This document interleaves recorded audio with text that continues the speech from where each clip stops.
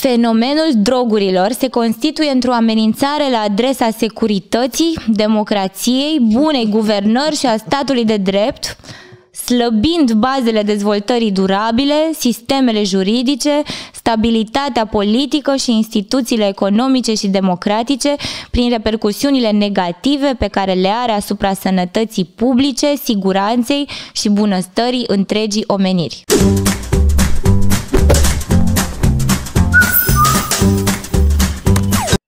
Salutare și bine ați venit la Mintea lui Tetelu. Astăzi un subiect puternic, legalizarea cannabisului medicinal. Și suntem cu Alexandra Ana Cârstea, care este inițiatoarea uh, unei legi, legea Victoria, care propune ca acest, uh, această substanță, care pentru unii este uh, complicată, greu de înțeles, cannabisul, să intre în uzul medical. De ce de ce legea Victoria? Pentru că așa um. se numește legea, legea Victoria. Și o să te rog să uh, te prezinți așa pe scurt și apoi să ne spui povestea ta personală, pentru că e o, e o materie uh, puternică, vine dintr-un trecut uh, zbuciumat, aș putea să spun, și are o bază absolut reală în viața ta, această uh, inițiativă a Alexandrei Cârstea. Bună ziua, vă mulțumesc în primul rând pentru invitație și pentru că am ocazia într-o emisiune să vorbesc uh, despre acest subiect pe larg, pentru că am dat sute de interviuri deja până acum și din păcate, majoritatea sunt rupte din context din cauza timpului sau a spațiului sau nu e momentul să Astăzi vorbim pe larg. avem timp așa că mulțumesc. și vorbim pe larg. Nu avem nicio restricție de timp. Dacă vrem să vorbim două ore, vorbim două ore. Dacă vorbim o oră și jumătate, o oră și jumătate. Nu ne oprim decât în momentul în care considerăm și consideri tu, și asta apropo de uh, relaxarea pe care mi-ai cerut-o, hai să nu dezbatem la modul încrâncenat această uh, inițiativă, chiar dacă ne aflăm într-un moment complicat, Uh, nu este cel mai bun moment pentru această lege, dar vom intra în amănunte și acum Spune-ne povestea ta, Alexandra. Ok, deci în primul rând, um, eu, corect spus, este eu sunt inițiatoarea unei petiții naționale pentru legalizarea cannabisului medicinal, petiție pe care am inițiat-o când mama mea trăia și care, uh, datorită acestei petiții și numărului mare de semnatari, a um, ajuns lege, proiect de lege în Parlamentul României în 2019, uh, în iulie, uh, când un parlamentar a inițiat acest proiect legislativ după povestea mamei mele și după um, tragedia prin care am trecut și, într-adevăr, se numește astăzi legea Victoria, pe mama mea o numea, se numea Victoria, Uh, și așa cum uh, vedeți, numele este unul extrem de puternic. Înseamnă o secundă, și... te întreb. Se aud niște uh, mici scâncete. Este vorba de copilul tău, Alexandra, 11 luni. Cum îl cheamă?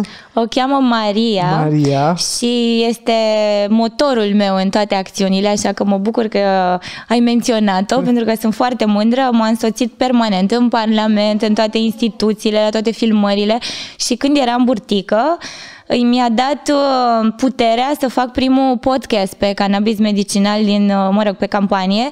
Și o să vorbim și despre acest podcast pentru că eu nu sunt o expertă cum faci tu lucrurile, dar eu am simțit nevoia, având-o pe Maria Amburtică, să dau toate argumentele științifice și uh, morale pentru ca legiuitorii noștri să ducă mai departe proiectul ăsta de lege și să-l adopte în cele din urmă. Practic așa sunteți, că Maria e motorul meu acum. Așa că... Sunteți o familie întreagă da. care uh, se află în spatele, să zic, acestei uh, încercări de a aduce cannabisul uh, în medicină acolo unde uh, este el în alte țări. Este deja, avem, avem uh, uh, legislație, da, europeană, avem și practică europeană, nu? Există cannabisul, uh, este deja, noi suntem cam cât de în urmă, ca să zic așa.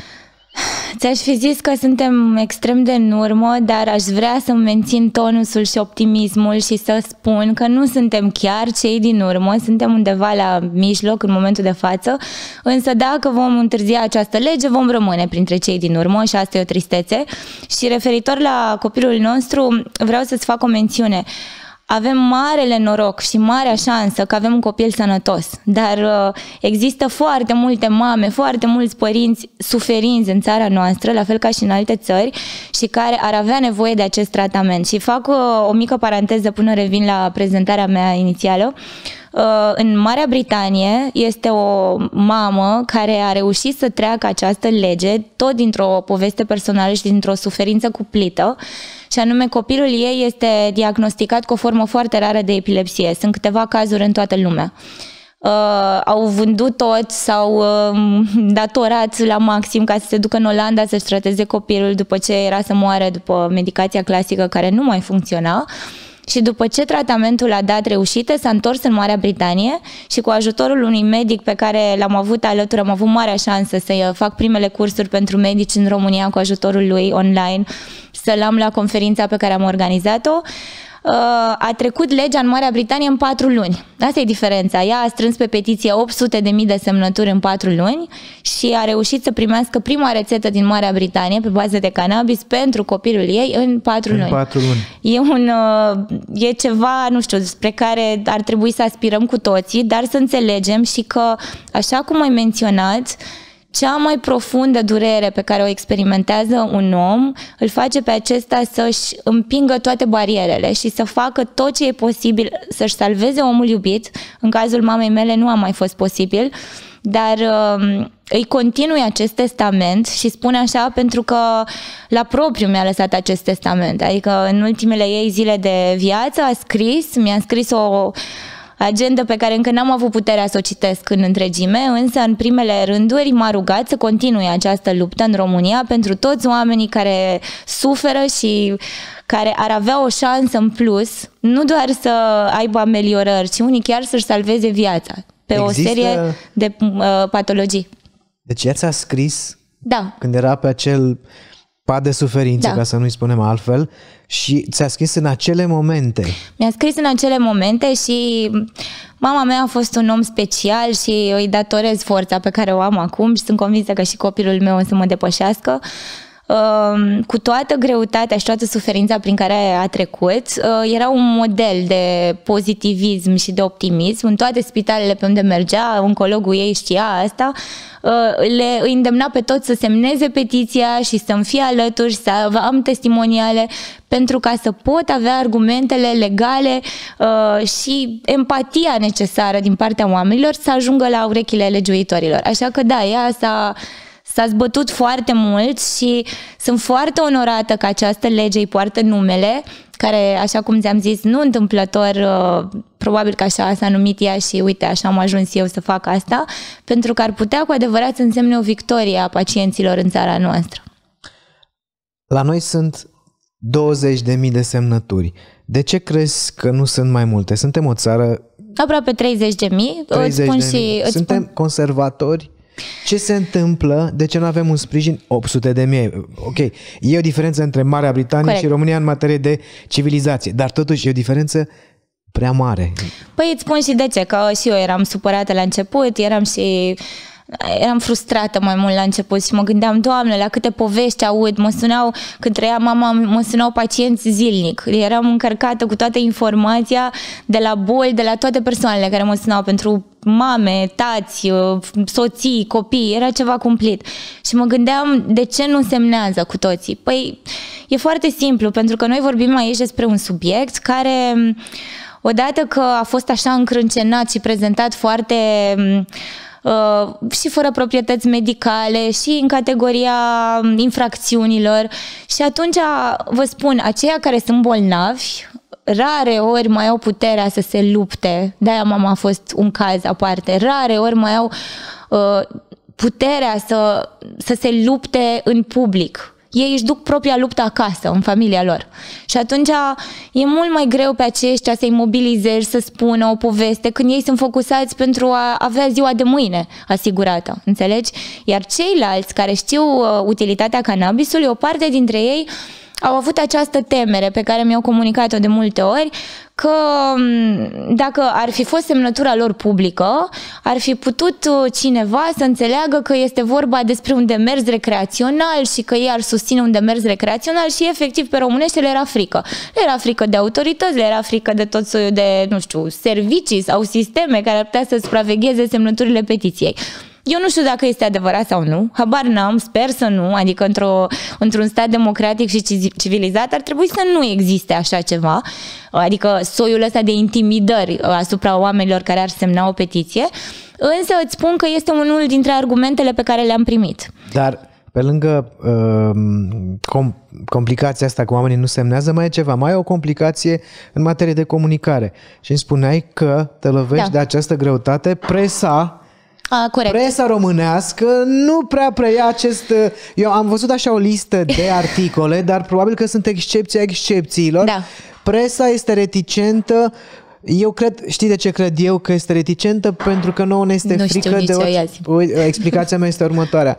Suntem atât de uh, meschini încât ne gândim la uh, publicitarul care nu o să bage reclamă pe o platformă în care se discută de, despre așa ceva, pentru că publicitarul respectiv uh, se gândește că clientul său n-ar vrea să fie asociat cu acest tip de discuție și România se pune așa uh, uh, pe deasupra un capac, de aceea nu se discută, pentru că oamenilor le este frică că, deși nu există neapărat așa ceva, dar uh, să știi că lumea evită pentru că se gândesc, domnule, nu o să pună la mine Coca-Cola reclamă pentru că discutăm acest subiect, ceea ce este de o absurditate maximă și de aceea îmi face plăcere să te pot avea invitată și să îți poți uh, dezvolta uh, ideile și să prezinți proiectul cu cea mai mare um, um, claritate. Aici nu avem nicio opreliște. Uh, mi-aș dori să să se întâmple ceva bun cu legea ta. Ceea ce mă miră e faptul că în realitate, se ajunsese la un punct extrem de pozitiv. La un moment dat ai avut o, nu tu, inițiatoarea legii în Parlament, care este, hai să vorbim și cu Cristina câteva Dumitrache, nume, Cristina Dumitrache și mai sunt Emanuel, Ung- Emanuel Ungureanu, Ungureanu da. și sunt câțiva principali uh, inițiatori, vreo 3-4, nu? 3. 3. Da, și domnul hai Boicu. Să-i numim. Să-i numim ca și să... dumnealui și domnul Boicu de și la au depus PSD. acest proiect în Da. forma uh, clasică, corectă, procedurală. S-a ajuns la 100 de semnături? Nu, deci inițial proiectul a fost depus de Cristina Dumitrache cu acești doi co-inițiatori, la care uh, aproape 100 de parlamentari au aderat. Adică proiectul inițial de lege a avut uh, susținerea aproape 100 de parlamentari, în grosomodo, în jur de 90 și ceva, parcă, dacă mi-amintesc corect. Uh, aș vrea cumva să reiau, ca să ne Da. înțelegem uh, de la bun început cum uh, m-ai întrebat. Uh, Deci eu am început acest demers pentru mama în momentul în care, pentru că cred că contează povestea în spate. De ce am făcut asta? Acum câțiva ani nu mi-aș fi imaginat niciodată că voi fi azi aici și voi vorbi despre asta. Parcursul meu era cu totul altul. Eu sunt jurist de profesie, am uh, tatăl în familie uh, care era judecător, adică eram într-o zonă în care uh, paradoxal sau ironic, exact cum vorbeam mai devreme despre temerile astea legale, noi uh, cunoșteam bine legea și știam uh, ce e bine, ce e rău din punct de vedere legal. Uh, am ajuns în această situație în care sunt sigură că sunt foarte mulți oameni și uh, mă bucur foarte mult că Dumnezeu mi-a dat puterea să fiu eu vocea celor care nu au vocea aceasta și puterea să se lupte de atâția ani. Pentru că Trei la un ani, moment dat, practic, mulți 2008. ani, din mama, sa, mama a primit diagnosticul în 2015, eu am început demersul în 2017, au trecut patru ani. 4 ani. Uh, lucrurile stau așa. Uh, mama a avut un diagnostic de cancer uh, stadiu 4 în 2015. A venit ca un șoc. În momentul ăla s-a întâmplat exact cum vezi în filme de simți hăul ăla care te înghite și ți se schimbă toată viața într-o secundă. Și a trebuit cu toți în casă să ne recalibrăm, să vedem cum facem față situației. Mama deja era într-o etapă atunci uh, în care își lua la revedere de la toată lumea, pentru că îi se spusese că mai are câteva luni de trăit. Um, Lucrurile n-au fost așa, doi ani de zile a fost foarte bine, a avut o operație pulmonară ca, că acolo era localizat cancerul, care a fost de succes, deși erau șansele foarte mici și așa că doi ani de zile a fost foarte bine, a avut o viață absolut normală. După acei doi ani, um, cancerul uh, s-a transformat în, uh, în metastaze osoase, care nu au fost văzute corect imagistic din prima și care au fost confundate cu altceva. Uh, A ajuns într-o situație în care durerile ei au fost de necontrolat Cancer la, s-a dus în oase. Da, s-a dus Am pe toată întâlnit coloana acest și caz, pe uh, și în viața Pe toată jurul coloana și în pelvis. Deci, practic, uh, bine, inițial a început pe coloană și acolo a făcut o altă operație în uh, 2017. Am transportat-o la Cluj, unde a fost operată pentru că era o operație extrem de riscantă cu risc de m, paralizie. A trecut și peste această operație și ca urmare a acestei operații a trebuit să fie țintuită la pat, pentru că deci ultimii doi ani din viață ea și a petrecut în pat nemai putând să iasă din casă decât cu targa când o duceam la spitale, deci a fost un stil de viață înfiorător și vă rog să mă iertați că e prima dată după mult timp când uh, pot să vorbesc atât de profund despre subiectul ăsta și încă am uh, amintiri foarte triste despre asta. Uh, a, acei doi ani de calvar au fost uh, motivul prin- principal pentru care sunt azi aici. Pentru că cine trece prin asta știe foarte clar că durerile acestea sunt atât de atroce încât nimeni din casă nu poate să doarmă. Au fost perioade în care o întorceam pe mama de pe stânga pe dreapta ca să nu facă escare în pat. Uh, Eu, cu mâna, pentru că nu putea să facă asta singură. Și lucrurile au fost, uh, au fost foarte complicate pentru că ea a urmat medicația clasică. Apropo de ceea ce mă întreabă foarte mulți când uh, vorbim despre cannabis, de ce nu se poate folosi medicația clasică? Se poate folosi de către unii, dar realist vorbind și sunt convinsă că comunitatea medicală nu mă poate contrazice aici, sunt unii care chiar nu pot să facă față medicației clasice sau alții care o încearcă și la un moment dat nu mai are efect. Uh, Situația mamei mele a fost undeva la mijloc. Ea a luat medicația clasică, mă rog, un soi de cocktail molotov de calmare a durerii care mai mult uh, o țineau într-o stare letargică în care vorbea cu morți și cu stafii și nu mai mânca și uh, dormea în permanență. Conține morfină, Evident, acest toate. cocktail. Co- da. Toate, erau vreo 6-7 Însă pastile. morfina, din câte am citit și eu, uh, într-adevăr te, te duce în zona aceasta de te scoate din orice contact posibil Da. pe care l-ai putea avea, te transformă în cineva care nu mai poate comunica. Exact Practic, așa era. letargia asta pe care ți-o induce îți taie uh, orice posibilitate de a, mai, de a mai fi practic om spre deosebire de cannabis.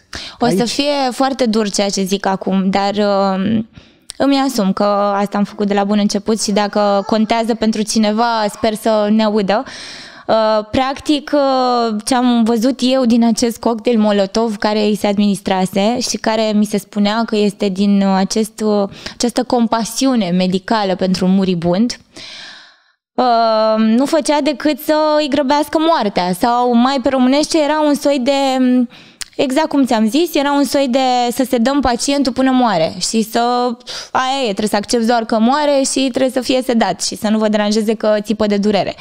Dar ea nu mai comunica, nu mai mânca, nu mai avea niciun stil de viață normal, iar durerile nu erau complet controlate, așa cum mi se tot spunea.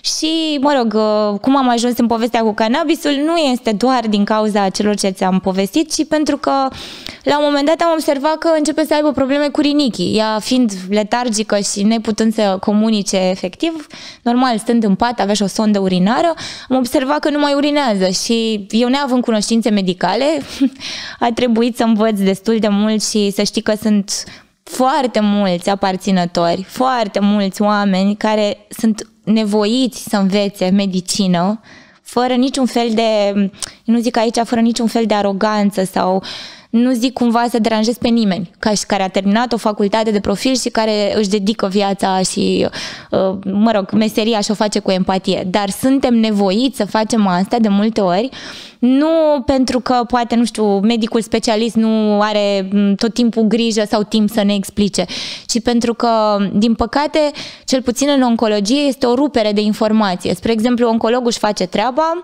radioterapeutul își face treaba, cel care i-a administrat uh, cocktailul ăsta Molo- Molotov era un doctor pe terapia durerii, uh, comunicarea între ei neexistând, unul știa exact care e efectul după nu știu ce medicație, dar nu știau să le coaguleze. Nu exista o comisie. Că asta e o altă problemă care, mă rog, cu o altă emisiune poate o să o tratezi. Nu există niște comisii interdisciplinare pentru un pacient în momentul de față care să supravegheze evoluția lui pe ansamblu. Există fră- înfrânturi pe care... Frânturi Și mai e ceva. Eu am observat următorul uh, aspect. ești trimisă acasă din aceeași lipsă de răspundere națională să nu moară la noi. Da, da, corect. Eu asta, asta am a întâlnit, pățit asta am și mama. remarcat. Da, și asta am Da. remarcat. E ceva de genul luați-l acasă pentru că noi nu vrem să moară Asta a aici. pățit când a murit. Deci o să ajungem și la subiectul da, ăsta. dar da. pentru că se leagă cu, să zic, ansamblul societății, toată lumea vrea să-și ia mâinile, nu, nu mă bag, nu e treaba Să nu mea, dăm nu socoteală. vreau să fiu legat de chestia asta, inclusiv doctorii care sunt, sau spitalele care ar putea, să zic, să, să aibă acest tip de control, că uh, mi-a dat o explicație foarte bună de ce nu este tratamentul uh, uh, atât de uh, util. Pentru că nimeni nu știe de celălalt și fiecare îi prescrie ceva și nu e, de ce nu vorbesc între ei? Nu. Deci și bolnavul este cel care pri- este practic singur cu familia lui, care, vorba ta, se apucă familia de Și să medicină. învețe. Păi asta am făcut eu, de-aia zic că m-am reprofilat. Norocul face că eu fiind o persoană care e obișnuită să se documenteze destul de mult, a trebuit să învăț foarte multe din domeniul acesta și uh, pe măsură ce vedeam că un tratament îi se administrează, mă documentam, mă duceam la medicul ei, uh, la oncologul pe care îl avea și uh, cu el am avut această deschidere și m-a ajutat foarte mult pentru că vedea că mă chinui foarte mult să învăț lucruri. Și atunci am avut acest suport uh, mai târziu, inclusiv și după ce, mă rog, am început tratamentul cu cannabis și o să zic imediat cum, pentru că aș vrea să revin la partea cu uh, uh, problema urinară și cum am ajuns Așa. efectiv la cannabis. Uh, ideea e că observând ceea ce se întâmpla cu Rinichi, am dus-o la spital și vreau să rețineți încă o dată ceea ce am zis. Toate drumurile ei din ultimii doi ani de viața ei au fost pe targă. O targă, iarăși, uh, o altă discuție paralelă, nu cu ambulanța de stat. Ambulanța de stat uh, are foarte multe alte cazuri. Ambulanța de stat vine greu când ai o urgență cu un pacient oncologic care are și probleme cu tensiune și tensiune oscilatorie, că pe durere faci puseu de tensiune extrem de mari, mama ajungea la 19-20 tensiune, adică erau niște lucruri care nu se manageriau ușor. Și atunci cu ambulanța privată, care în ciuda faptului că, ok, slavă Domnului, mulțumim lui Dumnezeu, am avut cum să o plătim atâția ani, nici aceea nu ajungea ușor. Așa că eu a trebuit să fac o prietenie cu câțiva ambulanțieri pe care îi aveam pe lista scurtă la telefon în momentul în care intervenea o urgență. Oamenii ajunseseră cumva să, să-i dea prioritate mamei ca să o transporte de urgență la spital și nu era vorba doar de transportul în sine, cât ea având coloana fragilă, aveam nevoie de niște persoane care să o manipuleze cu grijă, pentru că o altă problemă era și asta, cum o iau, cum o ridică, cum o pun în pat, cum o transportă la spital. Deci era, uh, toată povestea asta a fost uh, înfiorătoare și Într-un fel e bine, oricât de dureros este, că am ocazia să spun asta, pentru că sunt absolut convinsă că sunt foarte mulți care trec prin lucrurile acestea și nu au cui să le spună și se simt neputincioși și vulnerabili și disperați și li se pare că efectiv n-au nicio șansă și că nu este vorba doar de lupta cu boala. Asta este mai crunt. Nu e vorba de lupta cu boala în sine, este vorba de lupta cu un sistem care este total greșit conceput din mici detalii și nu vorbim de lucruri mari, adică dacă s-ar corecta niște lucruri mici în ele, ar putea să ajute un pacient.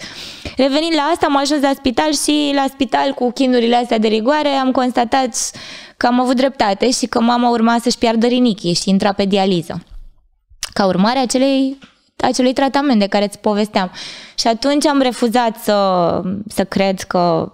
De fapt, eu n-am abandonat lupta asta niciodată și cred că șansa ca ea, ea a trăit uh, patru ani și jumătate este că nici ea nu a abandonat lupta până cu câteva săptămâni înainte și a avut multă încredere în mine, foarte multă încredere în mine și în faptul că încercam să mă mobilizez din uh, cele mai crunte experiențe pe care le trăiam.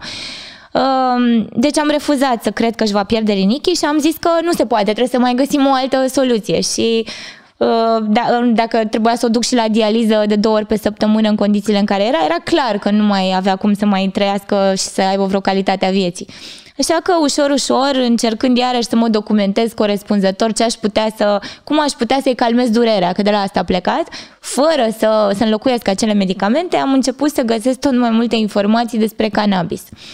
Și acela a fost un moment așa revelator și foarte șocant pentru mine, pentru că, așa cum îți ziceam, am descoperit o lume nouă pe care, na, înainte, cumva mai trecuse pe lângă ureche, dar exact așa în zona asta pe care, care e tratată superficial de mulți, uh, cu un zâmbet în colțul gurii, vorbim despre recreațional, de un cui. Nu, nu vorbim despre asta am început să citesc foarte multe studii ale unor medici. Am plătit consultații online în Statele Unite, în Israel, în Europa, în state unde se legalizase cannabisul și am constatat cu stupoare că este dovedit, era și atunci, acum câțiva ani, acum deja suntem mult mai avansați, erau dovezi științifice și medicale certe în privința cannabisului și atunci, în primă fază, recunosc că am fost extrem de frustrată pentru că mi-am dat seama că o persoană ca mine n-avea nicio legătură nici cu piața neagră, n-avea nicio legătură cu nimic, nu știam pe nimeni care să în jurul meu care să folosească cannabis, adică nici măcar nu aveam pe cine să întreb ceva despre cannabis.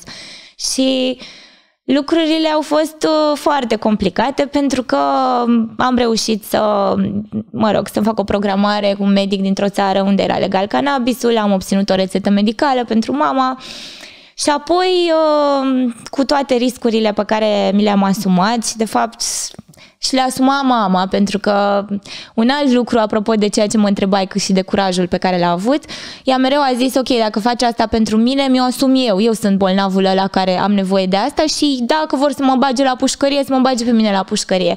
Așa că o vreme am fost obligați să aducem cannabis ilegal în România, de unde am găsit, pentru că odată ce intri într-o zonă de, îți spuneam că nu aveam de unde ca sursă să obțin cannabis cannabisul. Odată ce intri în discuții pe forumuri sau cu pacienți care au mai folosit așa ceva, găsești soluții. Problema este că de-aia ne aflăm aici într-o etapă care ar trebui să fie cu atât mai importantă din punct de vedere legislativ. Sunt două probleme majore.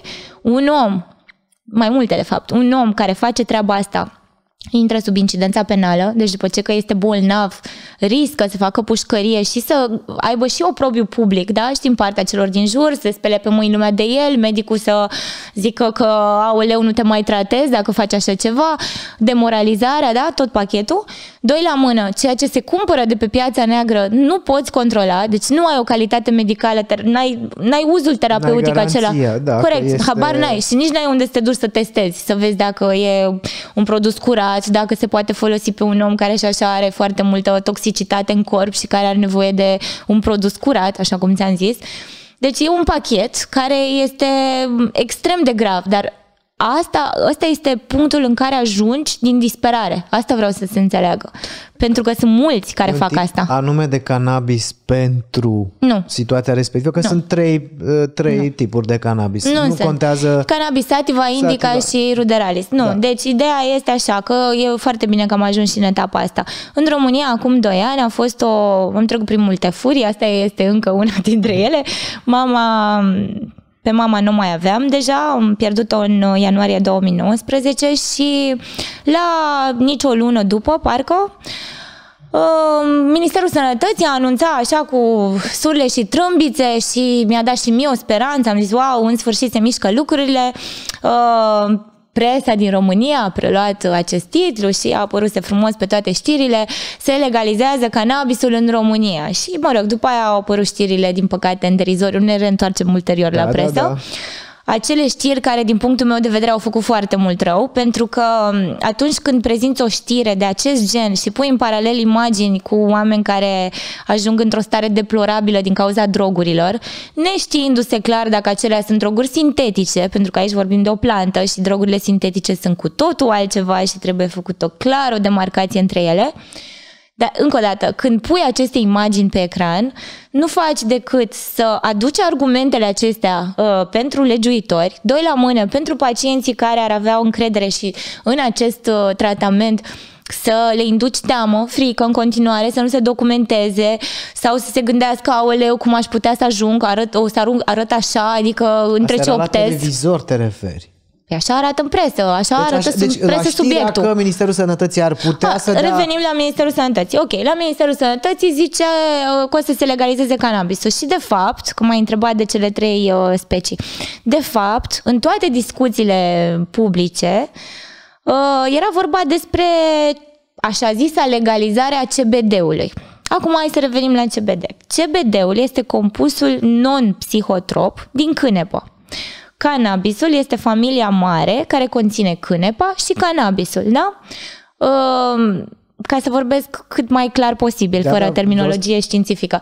Dar vreau să Cânepa, vorbim și de partea aceasta, adică Da, ce vreau să vorbesc reprezintă despre din punct de amândouă. vedere chiar tehnic să, Corect. să afle toată e, lumea. cânepa, așa cum este ea făcută ca plantă, nu conține niște concentrații mari de THC, da? Maximul pe care îl poate obține e undeva în jur de 0,3, da? THC? THC.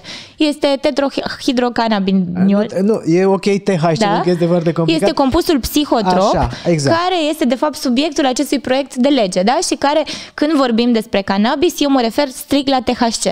Pentru că uh, CBD-ul are o importanță deosebită la rândul lui, însă uh, este doar unul dintre compușii plantei de cannabis, da?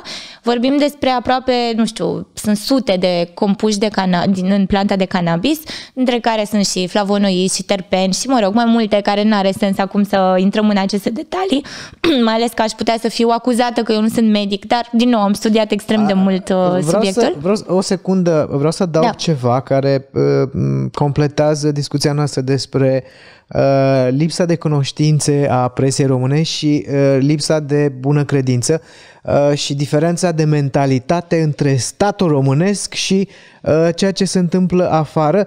Nu știu dacă ai observat, pe piață s-a lansat un șampon, nu mai țin minte firma, Cannabis. una, Ce ai de cannabis? Ciocolată cu cannabis, deci tot e cu cannabis. Hai Da. să zicem că poate alea sunt niște Da. glume. Nu, această firmă de uh, șampoane e una mare, nu știu numele acum, Ok. care are reclame pe televizor, adică atenție, un, un ceai care se E găsește... CBD pe românește, ăla e CBD, nu și e este cannabis. semnul de, Da, da. uh, de cânepă, de marihuana, de fapt, și este E. reclamă la televizor. Deci o, o firmă de șampoane și-a asumat că pune cânepă în șamponul lor, în timp ce Ministerul Sănătății vrea să dea la o parte... Vă Uite, vorbim- eu asta n-am știut-o că e reclamă am în văzut-o România. La televizor, Nu, asta n-am știut-o și... Deci una dintre marile firme, nu pot să zic care că nu mi-aduc aminte exact, am remarcat, deci are semnul de marihuana în reclamă. Și asta înseamnă că este o companie, este o multinațională la nivel de zeci de miliarde de dolari care a decis să pună pe televizor într-un plan de media Și s-a aprobat. de sute de mii de euro, probabil că atâta Da, da, trebuie da. să fie,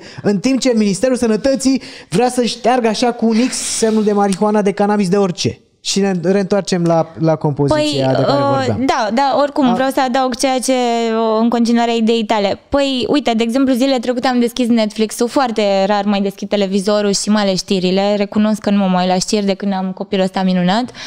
Nu am mai vrut nici perioada asta de pandemie și tot încerc să nu mă mai poluez în plus și așa duc lupta asta grea, adică mai mult nu pot. Uh, și am deschis Netflix-ul să încerc să mă uit la un film și primele Microfonul, te secvențe, rog să-l ții, primele sau- secvențe, da, corect așa? Sau să pune-l așa un pic. Mai bine uh, așa? Dacă îl strâmbi un pic pentru că tu vorbești și... Și mă întorc. Te și întorci. Țineți-l mai așa, ca, ca să invers. Așa? Pune-l mai așa. Bine, gata. Uh, Babăi, ne ajută o secundă? Nu, uh, gata. Așa, Așa? să-l pui. Așa, Bine, gata. că e important. Mă mă mai inviți o dată și învăț mai bine data viitoare. Um, Bun, deci ziceam că în uh, primele imagini ale acelui film de l-am deschis aleatoriu, uh, era cineva care folosea cannabis uh, medicinal, adică în primele două minute. Deci este clar, și asta este foarte important, într-un fel e un, e un lucru bun ceea ce vă spun acum. Este un uh, trend internațional care este de neoprit. De Sunt neoprit. ferm convinsă că Ministerul Sănătății în momentul de față are ultimele argumente și este, cum se numește, cântecul al sirenei, pentru că mai mult de atât nu mai poate face. Cât să le mai oprească? Un an, doi? Mai mult de, De- atât nu se mai poate. De ce vorbim noi de Ministerul Sănătății acum? Pentru că Ministerul Sănătății a expus uh, o... Vrei deja să intrăm în subiectul ăsta hard sau să știi, mai că luăm? acesta este de Ca să fapt știu. tema principală a emisiunii, că parcursul acestei legi uh, pr- aproape, cum să zic, uh, uh, trendy pe tot globul, a fost blocată de curând și despre asta o să vorbim. Imediat, Deci, vreau să- Avem un stop ca să știm uh, Da. cine este, uh, să zic, dușmanul acestui proiect de lege. Este Ministerul Sănătății, de aceea îl invocăm acum. Păi da, e... Deci vreau ca să, ca să tratăm ceva ca coadă corect. Vreau să ajungem din nou la CBD și la ce se întâmplă Așa. acum 2 ani.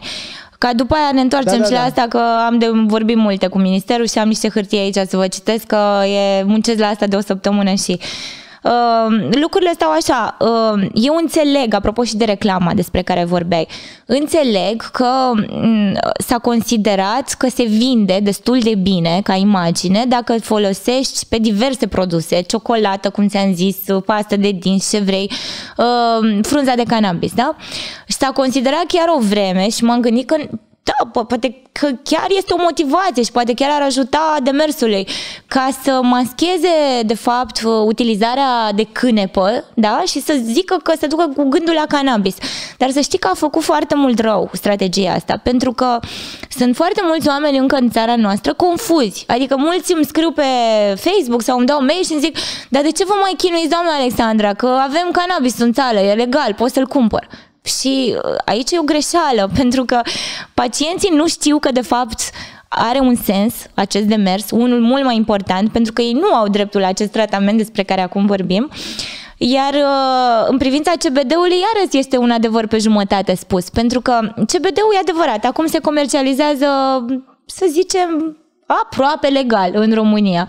În sensul în care, o să vă și explic de ce e aproape legal, în sensul în care au apărut multe magazine, sunt multe site-uri online, omul poate să-și cumpere. Eu când cumpăram pentru mama CBD, că am luat și CBD, îl aduceam din uh, Spania, costa înfiorător de mult, deci era prețul dublu și jumătate față de cât e acum în România. Deci, na, asta e o perioadă de, deci ultimii patru ani s-au diferențiat foarte mult prețurile față de ce avem acum. Uh, și doi la mână, Perioada în care îl aduceai da, era foarte scump. legal. Legal, CBD-ul e legal, Le- era și atunci CBD-ul, legal. a, CBD-ul. Da, vorbeam de CBD Da, da, da. acum. Uh, Deci, ideea e că este legal de comercializat, dar în același timp, anomalia din momentul de față cu care ne confruntăm este că foarte mulți uh, comercianți, să zicem corect, sau foarte mulți antreprenori care vor să își desfășoare această activitate, au probleme legale și mulți dintre ei, nu știu, s-au trezit cu dosare penale, unii au fost pe la pușcărie deja, am auzit un caz extrem de trist al unui antreprenor care mă înțeleg că s-a sinucis la, Alexandru. da, la presiunile cuiva. E Nu posibil cunosc să fac o cazul. emisiune specială despre Alexandru. Care a Uh, fost însă șicanat de procurori până când s-a sinucis. am auzit și eu asta, nu am detalii e despre nefiind acest atât caz. de ilegal în demersul său. Nu, o să-ți explic de ce. Unde este ilegalitatea? Deci la noi în România THC-ul e interzis, de la asta plecăm, da? E, aș, CBD-ul în esență, cânepa în esență, îți spuneam că dacă nu se extrage chimic, da, nu se extrage acel 0203 THC, în CBD va rămâne acel procent de THC, da? Per contrario, dacă legea există și THC-ul este interzis, procurorii pot acum în baza legii, da? că nu fac ceva extraordinar, fac exact în baza legii și anume că ei spun că dacă conține produsul acel 02 THC este ilegal, da? Și e confiscat și de acolo și stereotipiile cu traficanții de droguri și toate cele. Aici este durerea cea mai mare, pentru că există și alte produse de CBD care au extras total THC-ul și au 0, CB, 0 THC, deci, mă rog, există alternative. Dar e foarte important de știut. 1. Nu avem o legislație clară nici măcar în privința CBD-ului. Foarte important de știut. Doi la mână, legea Victoria, dacă va trece și va uh, um, da dreptul pacienților să utilizeze THC, implicit CBD-ul nu va mai avea această problemă pentru că acel 0203 va fi efectiv normal uh, contracarat de legea care o să fie în vigoare, da? Uh, trei la mână și o să vorbesc ulterior de conferința pe care am organizat-o acum uh, o lună, pe 23 februarie. Prima conferință științifică mare din uh, România, am făcut-o în mediul online cu foarte mulți experți din afara granițelor. Uh, ni s-a explicat foarte clar și fără echivoc în toate studiile de specialitate efectul cel mai bun de terapie este efectul de anturaj. Efectul de anturaj al plantei este acela în care planta este pe de întregul, în ansamblu, cu toți compușii ei, da?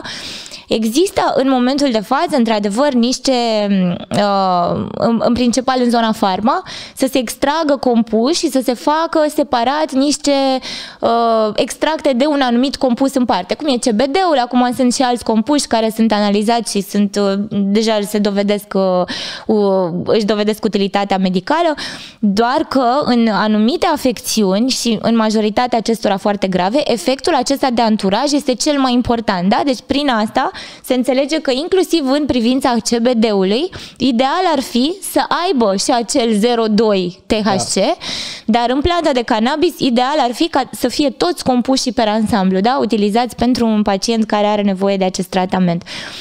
Și să mă reîntorc la Ministerul Sănătății. Deci atunci, acum 2 ani, ei vorbeau de CBD, Presa, din păcate, a fost... Uh, eu am avut o durere foarte mare cu presa pentru că am avut o perioadă în timpul facultății în care am lucrat în televiziune și, mă rog, uh, cred că pe lângă faptul că sunt uh, asta pe care o vezi azi, am și o doză mare de idealism și că altfel cred că n-aș fi reușit să ajung până aici. Și când am început demersul, eram ferm convinsă că o să fie preluat de presă și că o să fie susținătorii Așa. numărul unu și că ei or să ne ajute cel mai mult. Și m-a durut atât de mult pentru că am făcut o comparație cu ce făceam eu în televiziune atunci. Eu un copil și, bă rog, copil, eram o tânără de 20 ceva de ani care nu aveam, n-am ajuns vreodată la vreo capacitate de asta de să ajung vedetă sau să fac ceva așa notabil să mă cunoască lumea. Însă, îmi documentam materialele cu seriozitate și mă așteptam să se întâmple același lucru. Mi-am dat seama după primele interviuri că mm, nu se întâmplă asta. Următoarele interviuri le-am făcut cu ceea ce scriam eu, adică le trimiteam dinainte și le ziceam ok, uite, de asta este CBD, ăsta e THC, despre asta vorbim, asta înseamnă legea. Uh, din păcate nici atunci nu s-a întâmplat nimic pentru că mm, exista aceeași, uh, din păcate, același, același stigmat. Adică pe sticlă, eu dădeam uh, știrea, mi se părea că în sfârșit, wow, astăzi intră ceva ok, și pe sticlă era acel titlu senzațional cu care ne-am obișnuit și noi în România, cum era, alea, era un post de televiziune cu senzațional, se legalizează, se dă drumul la droguri în România și în stânga era un copil care arăta deplorabil la Aoleu. detox, știi? Adică genul ăsta. Și, Școala mă rog, de presă românească, asta este, deci o tragedie. A fost, da, a fost o dezamăgire cruntă. Eu nu vreau încă o dată, deci vreau să mai înțelegi ceva. Uh, eu cu toată furia pe care o simt, dar este una constructivă, nu o duc în zona aia de... și asta îndemn pe toată lumea. Uh, să nu ducă în zona aia în care tot noi românii ne-am obișnuit să zicem bă, e nasol, așa e la noi în țară, nimic, nu se mai poate face, ridicăm din numeri și aia e, știi? Nu să folosim furia, supărarea, deznădejdea, dezamăgirea constructiv și să zicem, nu, ok, dacă nu faci tu, fac eu. Îți dau eu argumentele și stau acolo pe capul tău și zic până când o să accepti treaba asta și până când o să înțelegi că e ok să mă asculți, să vezi și punctul meu de vedere. Adică ce vreau să zic este că nu e suficient doar să rămânem în zona asta de dezamăgire și să arătăm cu degetul. Nu, bineînțeles. Trebuie să facem ceva. Absolut. Adică ok, până când mâine, nu știu, poate după interviul ăsta mai vin trei jurnaliști și zic, bă, Alexandra, ia, da. hai, mă explicăm și mie, că vreau să înțeleg mai multe. Poate n-am înțeles subiectul nu, și l-am tratat mergem prost. înainte cu, exact. cu credința că vom rezolva. Nu, nu, nu. nu cedăm. De-aia te-am și chemat aici pentru că am simțit că ce a făcut Ministerul Sănătății este exact cum ai zis și tu, uh, cântecul de lebădă, ca să zic așa, da. al conservatorilor. S-a mai încercat. O să discutăm special de Ministerul Sănătății. Da, da, dar vreau. de-aia te-am chemat, vreau. pentru că am simțit că chiar m-am documentat uh, pentru emisiune și am văzut că chiar erați foarte aproape, adică mai, mai, chiar trecuse de o cameră la modul tacit. Adică, Senat. Da, deci mai că aveam această lege în sfârșit și iată, mai vine cineva să pună o talpă. Dar te-am chemat ca să rezolvăm.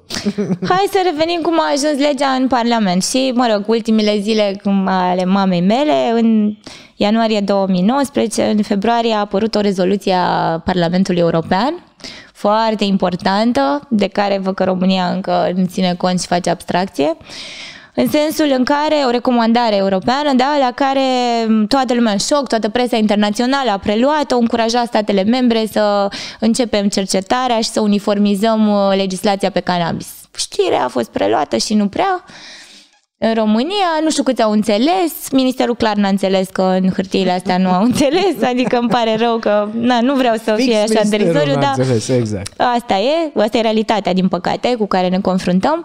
Mai mult decât atât, deci după această, ace- această hotărâre care a fost extrem de importantă la nivelul Parlamentului European, în 2020 ONU da, scoate din tabelul 4, fără utilitate medicală, cannabisul și l aduce în tabelul 1 care cu utilitate recunoscută în medicină, da? în uh, argumentarea despre care o să vorbim, că mai am nevoie de un pic de timp să Ai mă timp încurajez până vorbim despre hârtiile astea care nu fac plăcere deloc. Uh, nu am făcut deloc referire Ministerul la această decizie ONU, istorică de altfel, este o decizie istorică. De altfel, dacă dai un search Google acum, uh, toate, aproape toată presa internațională așa o numește. O decizie istorică a ONU. Este o La noi pasă nu e înainte istorică, uriașă. cred că e istorie despre ce vorbesc ei În acolo. Da, în decembrie? fine. În decembrie În 2020. decembrie. E, la noi în decembrie, în România, noi discutăm despre aglomerația de pe DN1, despre salata de beof și de rețete de cozonaci. Asta se discută în În presa plus, din acum România. și de COVID, că asta a și fost. de COVID și Asta cum a s-au fost. aglomerat oameni și petreceri ilegale, deci numai despre hotărârea, uh, uh, uh, ONU. rezoluția ONU legată de uh, cannabis, nu cred că s-a discutat, pentru că nu Da. avem această capacitate la nivel național de a prelua ceea ce este important. Noi suntem cu, mi- cu aglomerația, cu DN1, cu salată de băf. Care oricum sunt niște realități. DNA-ul și realitatea Știu, dar- spre să ajungi la munte în România, Nu, mai nu, bine am ajungi în altă încercat țară. Să, să-mi explic Înțeles. de ce a- o, Da, da, da. o știre cu asemenea impact nu a fost, să zic, tocmai trebuia să fie uh, în coloana din stânga, Da. iată sa rezoluție istorică. Bun, să ne reîntoarcem. Deci asta a fost discuția de, de acum 2 ani de la, cu CBD-ul. M-am supărat, m-am înfuriat, am, au făcut după aia o comisie. Asta e iarăși o chestie, n-am zis-o nimănui, cred că până Comisie? acum. Cine au Că făcut? ți-o zic acum. Ministerul Sănătății. Ministerul. Au anunțat cu surle și trâmbițe că fac o comisie de specialitate în care or să facă, or să invite specialiști și uh, asociații de pacienți să vorbească despre utilitatea legalizării cannabisului. Exact așa e știrea. Și Firește, așteptam și eu o societate civilă care până în momentul ăla era Maia care făcusem petiția și care, mă rog, începusem demersurile în sensul ăsta, să fiu chemată. Nu m-a chemat nimeni. I-am scris o scrisoare fostului ministru, nu mi-a răspuns la ea nici acum, deci în termenul ăla de 30 de zile, nu știu care e treaba, dar nu, nu la noi. Așa. Și am fost foarte supărată. Deci să știi că, uite, acasă soțul meu era tot, nu știa cum să mai mă liniștească, că eram toată, aoleu, dacă nu sunt acolo, nu vorbesc despre asta, ce o să se întâmple. După care m-am liniștit, pentru că mi-am dat seama că, de fapt, ei se întruniseră de fațadă. Din păcate au fost chemați câțiva oameni care chiar știau despre ce era vorba, dar au constatat și ei că vorbeau despre CBD mai mult și nu era discuția în derizoriu. După acea întâlnire, nimic nu s-a mai întâmplat. A fost o one-time întâlnire și aia a fost. După care lucrurile s-au reîntors și au ajuns, au rămas în Parlamentul României. Eu sunt foarte recunoscătoare Parlamentului și chiar vreau să uh, reiterez asta, pentru că mi s-a tot zis, m-au tot sunat divers să zică că mă susține nu știu ce partid politic. Deci, oameni buni, încă o dată. Eu când am început acest demers, m-am dus cu hârtii, cu volume întregi de studii la toți parlamentarii care mi-au fost la îndemână. Nu pot să la toți 300, la aceia din toate partidele politice. Și au fost etape. Unii la început nu m-au ascultat, unii n-au vrut, unii au zis că vorbesc aberații, alții s-au demarcat de mine, alții au zis ok, dar eu nu înțeleg subiectul, poți să-mi faci un rezumat. Am făcut și asta de-a lungul anilor, multe, multe rezumate, multe am scris, am niște volume acasă. Uh, După care am ajuns în etapa acestui proiect uh, legislativ, da? Un parlamentar a avut curajul, și o zic din nou, pentru că îi sunt recunoscătoare, indiferent de partidul politic, este un parlamentar care a avut curajul să inițieze acest proiect de lege, știind că era momentul, că e potrivit, că e nepotrivit, că sunt mulți, că nu sunt mulți care o susțin. Cu toate astea, a făcut exact ceea ce, așa cum prezint eu lucrurile în momentul de față. Eu îl prezint tuturor ca pe un proiect de țară. Nu cred că este dreptul niciunui partid politic să zică că este al meu, al tău, al lui X, al lui Y. Este un proiect de țară pentru că vizează soarta românilor pe ansamblu.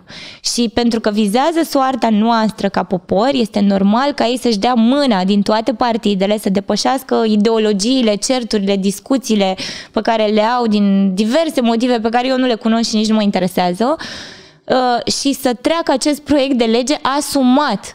În viziunea mea idealistă, mi se părea că era ceva extraordinar și România o să intre în toate știrile și în toată presa internațională spunând că, ia uite cum s-au unit ai noștri și au dat mâna și ca în hora unirii și au zis, băi, trecem și noi legea asta de comun acord în Parlamentul nostru și facem ceva ce trebuie pentru români și după aia avem timp să ne certăm. De, Ei da, bine, hora unirii în sfârșit ar fi putut să a, aibă asta, un subiect da. uh, care chiar să ajute societatea, dar așa. Bun, ideea e că am ajuns într-o etapă în care, după acești ani, parlamentarii, culmea, au fost din ce în ce mai mulți care s-au documentat, au început să vadă despre ce e vorba din toate partidele, unii au vrut să depună amendamente pe proiectul de lege, adică părea că se mișcă lucrurile, știi? Proiectul este pe site-ul Parlamentului, a trecut de Senat, așa cum ai spus, a trecut de Senat tacit. Iarăși, nu vreau să zic ceva de rău și de tacitul ăsta, pentru că îi sunt recunoscătoare Senatului că a trecut. Și așa tacit. N-a trecut cu amenda, adică n-a avut un aviz favorabil sau un negativ, a trecut tacit, dar slavă cerului a trecut, da? a ajuns la Camera Deputaților. Acum la Cameră el urmează parcursul legislativ și trebuia să intre în această dezbatere publică pe comisiile de specialitate, da? Și se aștepta opinia Ministerului Sănătății, care din 2019, de când a fost inițiat, nu a fost primit de Parlamentul României această, acest punct de vedere al Ministerului Sănătății, care ne-a ajuns acum câteva zile. Deci, mai bine nu ne mai ajungea, da? În fine, ne-a ajuns acum câteva zile. Ehm, deci, ca să repet, Parlamentul în acest moment, care a inițiat acest proiect de lege, este, este sau vreau eu să cred și să-mi doresc să cred că e posibil, să aibă această majoritate, sper, în momentul de față și curaj și asumare să treacă acest proiect de lege inițiat de ei punctul de vedere al Ministerului Sănătății este foarte important, dar este unul facultativ. Nu este unul care să fie determinant pentru Parlamentul României și vreau să cred că încă contează la noi în țară separația puterilor în stat. Vreau să cred asta, pentru că atâta timp cât executivul, din punctul meu de vedere, guvernul, poate mă înșel, dar cred că nu a știut când a intrat acest punct de vedere, nu cred că l-a aprofundat cu atenție primul ministru. Sper să cred asta, adică îmi doresc să cred asta.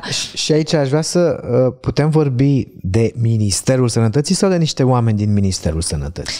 Măi. Ministerul Sănătății înseamnă și ministrul, înseamnă și uh, secretarii. E vorba de noi am vorbit la telefon acest lucru da. și care este percepția ta? E vorba de oameni sau de instituții? Păi, uite, o, o să-ți răspund, da? Uh, bine, E cumva, și cum e, oamenii fac instituții. E adevărat. Oamenii fac totul. Și unde omul sfințește locul, vorba aia românească noastră e foarte bună și din păcate în toate instituțiile de genul acesta, mari, importante, sunt și niște persoane care sunt acolo de când lumea și de când pământul și care au niște mentalități.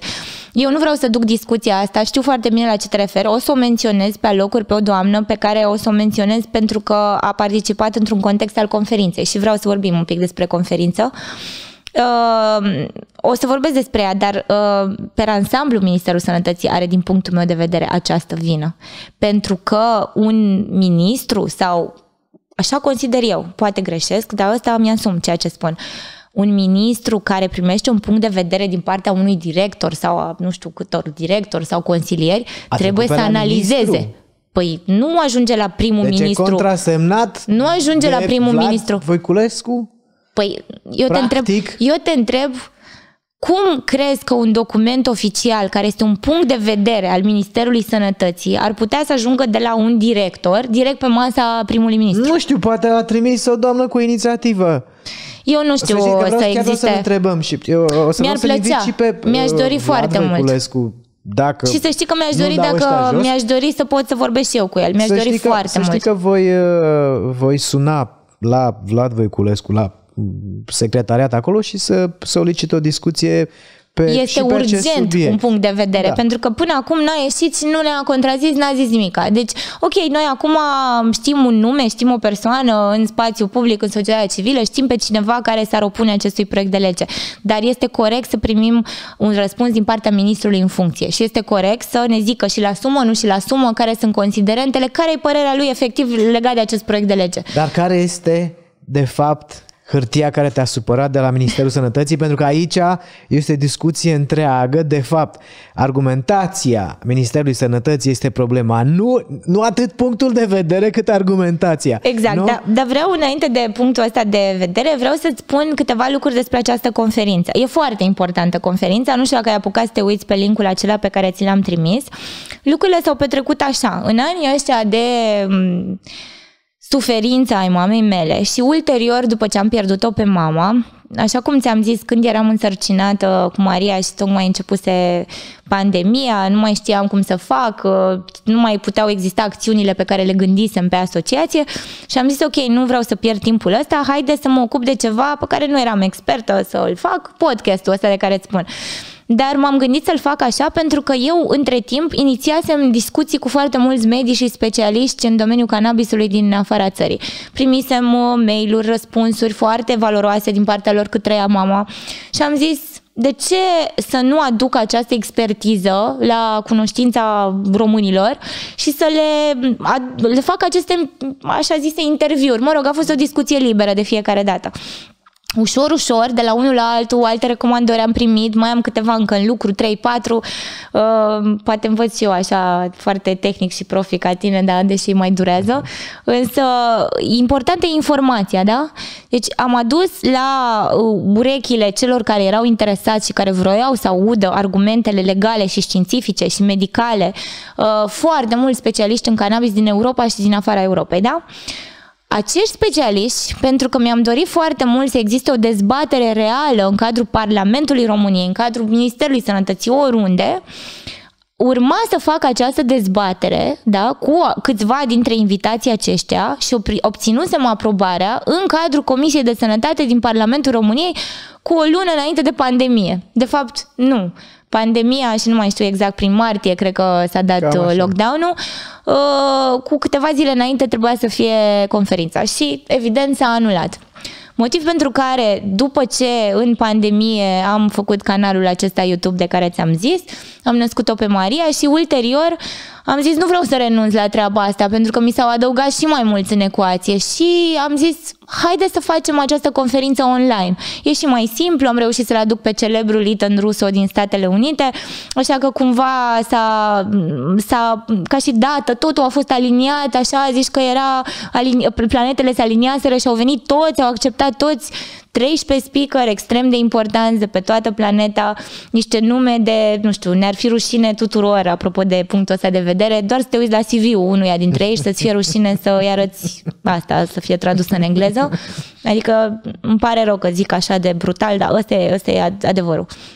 Adică sunt niște oameni care și-au dedicat unii 20-30 de ani din viață să se specializeze în cannabis, care au cazuistică medicală, care uh, vorbesc despre o carieră întreagă clădită în acest sens și despre motivația lor. Unul dintre ei care a luptat în stradă în Marea Britanie alături de momica aceea, adică niște oameni cărora dacă le-aș vreodată ar auzi așa ceva, ar fi, nu știu, ne-am face de râs rău de tot.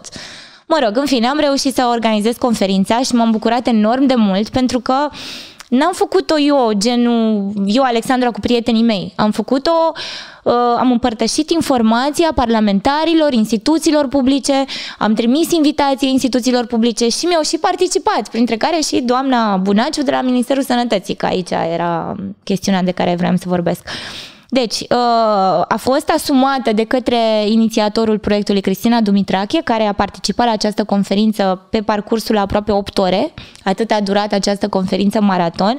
Inițial nu mi-am dat seama că o să devină atât de lungă, dar pentru că uh, Știi cum e? Eu am adresat invitația tuturor, nu m-am așteptat ca toți să-mi accepte invitația mm-hmm. și pentru că tocmai ți-am zis așa s-au aliniat planetele, absolut toți au fost de acord. Am reușit să gestionez și orele și așa că am reușit să fac o conferință de aproape 8 ore. Deci, practic, planeta... Care planeta s-a aliniat Corect, la, pentru, pentru România, România. Exact, pentru și România. România Practic pentru România nimic. și România a zis că probabil oamenii ăștia și-au pierdut timpul degeaba și n-aveau ce să facă cu timpul lor și, nu știu, ne zic niște, da, E, e, asta este un lucru atât de rușinos pentru mine. Eu am legat niște relații personale cu oamenii ăștia și îți spun iarăși un lucru cu mândrie. Am ajuns membra unor organizații internaționale, europene, uh, unele dar și internaționale care militează pentru cannabisul medicinal, pentru că am fost invitată întâi de o organizație cu sediul la Bruxelles, apoi de o altă organizație cu sediul în UK și, mă rog, o să mai fac aceste parteneriate cu niște oameni extrem de valoroși și de minunați care se luptă fără niciun soi de, nu știu cum să zic, cu tot sufletul și cu toată empatia Fără lor teamă pentru... și exact. pregătiți, aici e important. Și pregătiți, pregătiți, cu știință, da. cu școală, cu școală, cu Corect, practică. dar și cu școală, pentru și că cu în școală, alte dar țări- și cu practică, foarte important. Da. Și noi, E, și am adus pe acești oameni, am mers extraordinar, a fost un feedback, inclusiv între ei, adică și-au ascultat uh, m, s- prezentările unul altuia. Am avut uh, onoarea și bucuria că unii dintre ei au rămas pe parcursul conferinței cap-coadă, chit că erau porțiuni în care vorbeam în română, că interveneau diverse în limba română, adică ei au rămas, am primit feedback-uri. Alexandra a fost extraordinar, ne-a plăcut enorm, mulțumim pentru oportunitate, deci chiar am sperat că ăla a fost momentul ăla și zic, păi gata, au venit oameni, au participat, am primit la un moment dat uh, uh, un feedback că eram vizionați de Ministerul Agriculturii și de mai multe instituții, adică era, era exact ce trebuia. Uh, L-am invitat pe domnul ministru Voiculescu, din păcate sau nu știu, probabil că agenda nu i-a permis, a desemnat-o pe doamna Bunaciu. Ni s-a comunicat cu acea ocazie că dumnea ei este, eu nu știu funcția dumnea ei actuală, știu că la un moment dat a fost director, acum înțeleg că e consilier în cadrul Ministerului Sănătății. Dumnea ei uh, este principala voce contra legalizării cannabisului medicinal, iar eu, fiind o persoană foarte onestă, o întrebare. Am rog. putea specula că ministrul s-a ferit din același motiv să nu Măi, mă nu e- asociez cu droguri eu, dar vreau să am o carieră, partidul meu. Te întreb, putem spe- Eu e vreau doar să- speculație, dar Deci eu nu vreau să speculez. Îți spun și de ce. Uh, n-am avut ocazia să vorbesc cu Vlad Voiculescu deloc. N-am primit niciun punct de vedere, nu mi-a scris, nu m-a băgat în seamă, n-a zis, măi, asociația Victoria mea, ce faci tu acolo? Hai să discutăm, hai să facem o dezbatere. Nu am primit așa ceva, deci nu știu care este opinia dumnealui. Știu însă că, asta este interesant și asta pot să o zic, dumnealui este de la USR Plus, cu puțina politică pe care o știu. Uh, Câțiva parlamentari de la USR Plus, nu USR, dar USR Plus, uh, fac amendamente pe proiectul de lege în Parlament și uh, eu sunt într-un grup din Parlamentul României în care dumnealor m-au introdus să comunice despre stadiul proiectului și despre, mă rog, în comisii cum se dezbate și le mulțumesc din nou pe această cale că au fost transparenți în abordare. Câțiva colegi de ai domnului Voiculescu de la USR Plus au depus amendamente. Deci mie asta mi se pare, eu nu, încă o dată, poate nu înțeleg eu politică, dar partidul din care face parte dumnealui susține acest proiect de lege, iar unii uh, membri ai partidului consideră atât de important acest proiect de lege încât chiar s-au chinuit să lucreze la niște amendamente. În schimb- Nu vreau să speculez de ce nu a participat, însă poate vreau să cred, că asta vreau să zic, că eu sunt un om onest și mie să știi că îmi plac confruntările, adică eu nu sunt genul ăla de om de uh, vreau să aud numai pe pozitiv și toți oamenii care sunt favorabili proiectului. Eu mi-am dorit de la bun început să aud argumentele, pentru că dacă ai argumente, poți să le contracarezi. Chestia asta nu sunt argumente. O să Da, nu. le discutăm. Păi vreau să Nu. le discutăm. Uh, chestia asta nu, ne apropiem și de ele imediat. Argumente, dar mă gândeam că niște argumente pe care te rog să mă crezi că aveam inclusiv um, acea reținere. Mă gândeam, păi eu n-am această calificare medicală, tocmai de-aia am și adus acești experți, uh, tocmai de-aia am oferit cadru în care dacă există opinii negative sau temeri sau orice să le pună întrebări oamenilor ăstora. Că, na, poate nu mă întreabă pe mine ceva ce eu nu știu, tehnic, da? medical, științific. Nu s-a întâmplat asta. A intervenit doamna Bunaciu, într-adevăr, în conferință, la începutul conferinței și dumnea ei uh, ne-a zis de ce era rău. De fapt, ne zicea cum e legea și de ce legea, adică legea asta nemodificată. Dar pe parcursul conferinței... Invoca neschimbarea legii cu actuala lege. Mi se Mă rog, pare zicea, logic. da, Așa. zicea că ce cadru legal avem și de ce nu-i bine și cam așa. Mă rog, uh, după care eu m-am așteptat, am și invitat-o, e filmarea încă publică și o să o las publică pe Facebook cât ori să aibă nevoie să se informeze. Uh, m-am așteptat să pună întrebări, adică să zică, păi eu nu sunt de acord, ia să-l întreb pe, nu știu, alea, ce e, profesorul în neurologie, ia să te întreb, dar de unde știi tu că e bună asta sau ceva, știi? Da.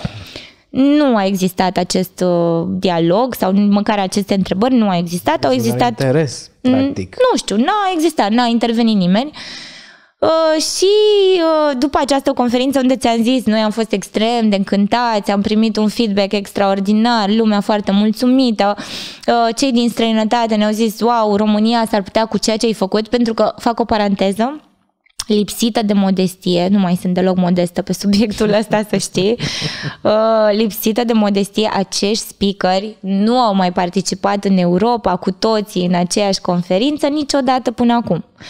Și este mare lucru pentru că au venit aici pentru mine, știu că e greu de crezut, dar nimeni nu i-a dat niciun ban. Eu sunt într-o asociație unde eu nici măcar n-am completat formularul la 230 până acum, ca să înțelegi, da? Adică cine a vrut să ne ajute cumva sau să sponsorizeze vreo acțiune, rest toate cheltuielile au fost făcute de familia mea, da?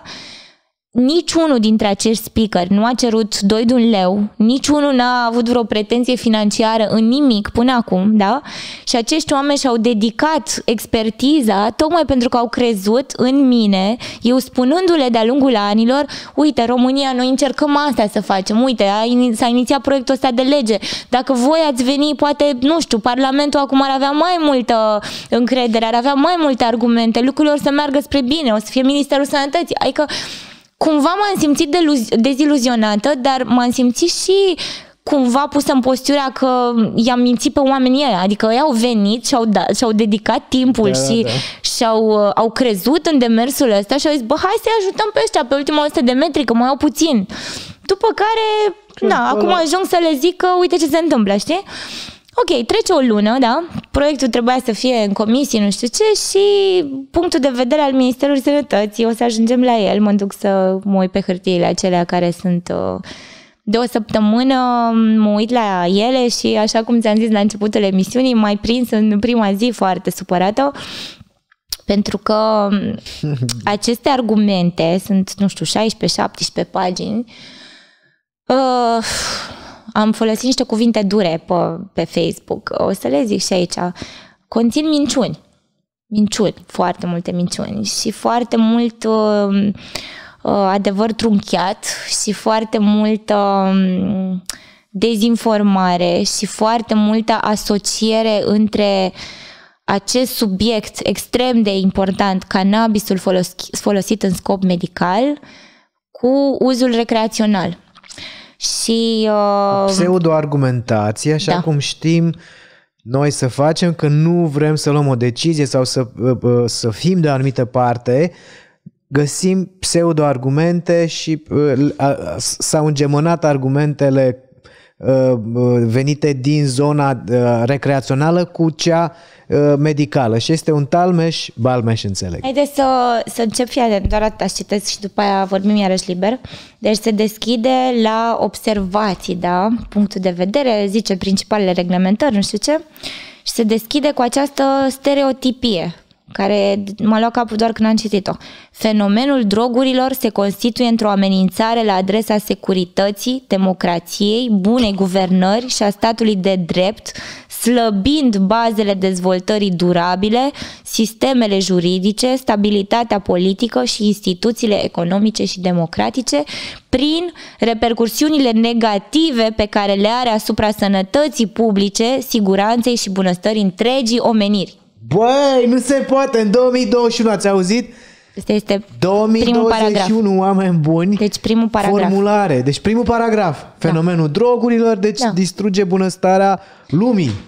A lumii, da, a întregii lumii, omeniri. Întregii da? omeniri. Băi, frate, Băi, deci da. noi vorbim despre un proiect despre uzul cannabisului în scop medical și aici ni se zice cât de rele sunt drogurile și cum ne distruge siguranța, sănătatea și bunăstarea omenirii. Băi, bă, De-aia zic că nu mai găsit într-un Pune moment bun acum câteva nu zile. pot să mai continui, n-am cum. Băi, Ministerul Sănătății 2021. Da, asta este trist. De-aia, de-aia mi-aș dori să îl invit pe Vlad Voiculescu și chiar o aș vrea să... să fac pentru că demers. eu încă am speranța, adică, un, nu știu, primul ministru, eu chiar cred că nu a citit documentul ăsta, dar, dar, pre, dar ministrul Sănătății l-a citit, adică când l-a trimis primul ministru, aia mă Dar poate crede așa că fenomenul drogurilor distruge bunăstarea întregii omeniri. Păi, dar nu era da. vorba, e, e, cum să spun, eu n-aș contesta fraza dacă s-ar referi, e ca și cum vorbim despre mere și îmi răspunde cu pere. Exact, ce e problema? Că adică... drogurile sunt o chestiune de discutat. Da, evident că există cazuri extrem de grave și triste și îngrijorătoare, dar feno- când ai zis fenomenul drogurilor, l-ai băgat pe toate și cu asta ai încheiat, de, practic a încheiat discuția. Nu sunt bune drogurile. Deci Corect. Deci cannabisul e drog, la revedere. Am încheiat discuția. Ce mai discutăm? De ce a mai continuat încă 16 pagini? Asta m-am gândit și eu și a continuat totuși, ca să zic că eu le am în paralel, pentru că da, asta arată... mi s-au scris 16 pagini, dar am scris și eu 31. Deci... Da, arată drive-ul, deci acest prim paragraf arată drive-ul mental al da. celor din Ministerul Nu, știi cum am simțit? Deci, drogurile. uite că vreau să-ți spun chestia asta. Știi cum am simțit? Știi cum e când, uh, dacă te uita la filmele americane, că e mult mai simplu acolo de digerat, că la noi, din păcate, nu e așa glamorous uh, sistemul ăsta juridic, dar vezi când uh, se antrepronunță, știi?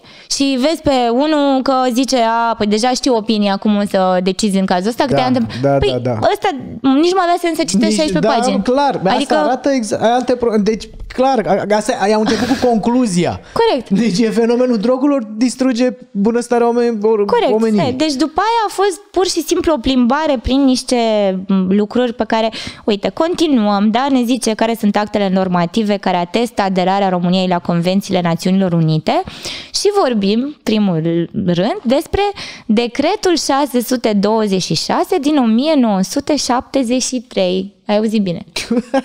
Ai auzit bine, perfect, ai auzit? Da? Și legea 118 din 92 pentru aderarea României la Convenția asupra substanțelor psihotrope din 1971. Aici însă intervine prima minciună. Pentru că, dar stai, nu, stai, că am subliniat aici lucruri, nu, trebuie să continui și după aia să zic cu prima minciună. Deci ne zice cu în conformitate cu prevederile decretului 626 din 1973. Te pregătești? Te rog. Cannabisul este inclus în tabelul 4 alături de heroină, dezomorfină, cetobemidonă, nici nu pot să pronunț, Așa, aceste stupefiante conform ART 2.5, sunt considerate ca având proprietăți ghilimele, îndeoseb de periculoase, motiv pentru care statul român trebuie să adopte ghilimele, măsuri speciale de control în scopul de a proteja sănătatea publică, cu excepția cantităților care vor putea fi necesare exclusiv pentru cercetarea medicală și științifică, inclusiv încercările clinice care se efectuează cu aceste stupefiante, bla bla. Bun. Aici vine partea a doua problemei, continuăm după aia pe tema asta. Deci, unul la mână, mă rog, partea asta frumoasă cu cercetarea medicală și științifică ar fi fost ok, dacă s-ar fi permis în România până acum, pentru că noi cadrul legal avem și acum, să știi. Adică noi cadrul legal, uh, știu că sunt persoane care au depus uh, cereri de autorizare ca să poată să studieze științific planta de cannabis și toate au fost refuzate. Evident, nu știu în baza ce, dar... Da, sunt. Deci cerere științifică Da, da, adică, refuzată. adică corect, da. Băi, ce țară de comuniști. Uh, dar... Nu, adică știam că țara de comuniști, dar parcă e mai rău decât nu, dar aici ne spune totuși, asta mi se pare interesant, că totuși admite acest document că dacă s-ar fi, s-ar fi putut pentru cercetare medicală și științifică, da, dacă se puteau făcea pe stupefiantele astea. Bun. Acum, revin la ce înseamnă minciuna din acest uh, paragraf, da? Deci face referire, minciună prin omisiune, dar tot minciună e, într-un act oficial. Uh, vorbești despre decretul din 73, faci referire la convenția în care a aderat și România în 71, da? Și nu vorbești despre ce am discutat noi la început. 2020, 2020. rezoluția ONU. Ce zici de asta? Ce care a schimbat, la sarmale care și la a schimbat da, care a schimbat, asta e important, din tabelul 4 în tabelul 1 cu proprietăți medicale. Clară. Evident. Deci, asta zic. Deci e, a fost ceva, când am citit chestia asta, mi s-a părut de-aia în continuare sper că nu le-au citit nici ministru, nici Asta prim-ministru. zic și eu că este posibil să totuși, nu, nu știu, este o, o păi doamnă da, da. cu cineva ce, cu ce, inițiativă. Ce vrem să alegem? Adică vrei să alegi să crezi că este un document de genul ăsta care este un punct de vedere important pe un proiect de lege fără să fie studiat? Eu nu vreau să aleg nimic. Adică, este cum, știi cum e? clar. Avem, nu mai avem, nu mai avem avem de nimic. ales așa între... Asta e problema Nu. mea, că nu știu care e rău, mai puțin rău. Adică Asta să e te doar gândești... la nivel de discuție, dar la nivel Da. de consecință este vinovat acest minister. Nu mai avem ce să mai... Că n-a vrut- citit că a citit. Trebuia Bun. să citească, nu se poate. Asta Bun. este un document din 73, zici, Exact. că e scris de partid, de o doamnă de la Ministerul Sănătății. Măi, din- asta eu nu pot fi atent. Asta RSR. cu am zis de am zis de doamna Bunaciu că a participat la conferință, da? Uh, acum în spațiu public apare peste tot informația, eu nu o am, dar uh, înțeleg că dumneavoastră era cea care se afla în cadrul direcției de specialitate care trebuia să dea răspunsurile pe chestia asta. Așa că logica celor care în spațiu public spun că dumneavoastră este cea care a redactat acest punct de vedere eu încă o dată nu știu dacă este așa sau nu, dar îți spun ceea ce, m- mă rog, logica te îndeamnă să crezi pentru că era cea care se ocupa în departamentul respectiv. Uh, Doamna respectivă, aici este, deci i-am scris inclusiv în argumentare, a participat la această conferință. Deci, ok, am făcut-o eu, poate sunt una, nimeni în drum, știi? Dar au participat parlamentari, au participat reprezentanții ai uh, diverselor instituții și pe lângă aceștia au participat niște oameni de știință valoroși de pe întreaga planetă. Uite că n-am CV-urile lor la mine, dar dacă zic un nume sau doi și dai un search Google acum, ți se face rușine, Da. efectiv. Adică Păi unul dintre ei era fostul președinte al uh, uh, Federației de Reabilitare Neurologică din Marea Britanie. Nu, sau mondială, pardon, mondială. Unul era um, ăsta care, Ethan Russo, care, mă rog, vorbește pe niște sume colosale el la conferințe și unde se duce și care el a descoperit uh, foarte multe lucruri apropo de efectul de anturaj, da? Și Da. studiile lui și, mă rog, absolut tot ce a scris vreodată în ultimii 20-30 de ani. A, nu mai vorbesc despre Cristina Sanchez. Cristina Sanchez este un biochimist care studiază cannabisul de prin, uh, deci a zis ea că de vreo 30 de ani și intervenția ei vă îndemn să, o- să o vedeți pentru că e una dintre cele mai uh, drastice, a și o zis să că poți trec să ies în, în descrierea Cristina clipului, Sanchez, neapărat. O să trec linkul la această conferință. pe, este utilă să o urmăriți, Da. da. foarte utilă, pentru că uh, Cristina Sanchez la un moment dat, deci pe lângă acești oameni, spune așa, ea a făcut studii preclinice, pentru că studiile clinice n-au fost încurajate, n-au fost finanțate până de curând, mă rog, vechea poveste, dar acum încep să fie. E, ea a făcut aceste studii preclinice pe șoareci, da? concluziile la care a ajuns în ultimii, ți-am zis, aproape 30 de ani, tumorile, ea vorbește de cancer. Deci am încercat pe parcursul conferinței să acoperim toate subiectele medicale importante unde cannabisul s-ar putea preta, da? În cancer, în momentul de față, ceea ce este dovedit științific, este ca terapie în uh, controlul durerii, pentru că nu s-a dus mai departe de atât în continuare de uh, știința, da? adică încurajarea studiilor. Cristina Sanchez vine la conferință și spune cu aceste studii ale ei care sunt cunoscute deja de foarte mulți ani și la momentul la care l-a publicat prima dată tot așa, a fost revoluționară, a apărut pe peste tot, așa am cunoscut-o și eu, că am citit uh, declarațiile ei. Ea spune că pe șoareci tumorile la unii s-au retras integral, la alții s-au retras aproape uh, atât de semnificativ încât au putut fi, nu știu, să ajungem în, să zicem în stadiu de operație sau să aibă o calitate a vieții normale. Deci eu vorbesc acum așa foarte m, neoș, știi? Trebuie să urmăriți, să vedeți dovezile clare asupra faptului că acei șoareci au fost injectați cu THC. Da? Și e vorba despre cancer. Și este vorba despre că în momentul de față, studiile la care noi facem referire, într-adevăr, nu menționează cancerul ca și, nu știu, cannabisul ca și terapie pentru cancer principală, ci doar în ameliorarea simptomelor Paliativ după... și nu curativ. Uh, Mm, Da, dar mai mult decât atât. Adică ajută foarte mult procesul chimioterapeutic uh, să fie dus de pacient, uh, ajută Și în tot ce înseamnă păstrează- greața, și nu uh, păstrează pofta de mâncare. rațiunea. Ba da, Chiar pofta dacă, de să zicem, mâncare. apare, să zic, e un efect de calmare și de relaxare, dar nu ești acel neom din cazul morfinei, nu? Uite, vreau Aici să-ți- mi s-a da. părut că este diferența esențială Iarăși vreau între... să zic ceva foarte important. Bine că mi-am adus aminte la, de chestia asta. Uh, toți acești medici care au participat la conferință ne-au explicat și am sperat eu că înțeleg și legiuitorii noștri că nu vorbim despre cannabis administrat așa, THC și ajunge în haiul ăla și asta e tot. Nu. În scop medical, acest uh, cannabis se administrează împreună cu CBD-ul, care CBD-ul are acest efect de a contracara efectul psihotic al THC-ului. Prin urmare, mai mult decât atât, apropo de ceea ce spui tu, va exista această calitate a vieții, te vei duce la muncă, vei vorbi, vei mânca, vei merge pe stradă, mă rog, probabil că vor fi niște rețineri apropo de șoferi, dar Uh, atâta timp cât cannabisul va fi administrat împreună cu CBD și această administrare se va face sub supraveghere medicală și produsul va fi unul eliberat de farmacii și preparat de farmaciști, el nu va mai avea efectul psihotic al THC-ului simplu. Înțelegi? Extraordinar. Deci da, așa se folosește medical.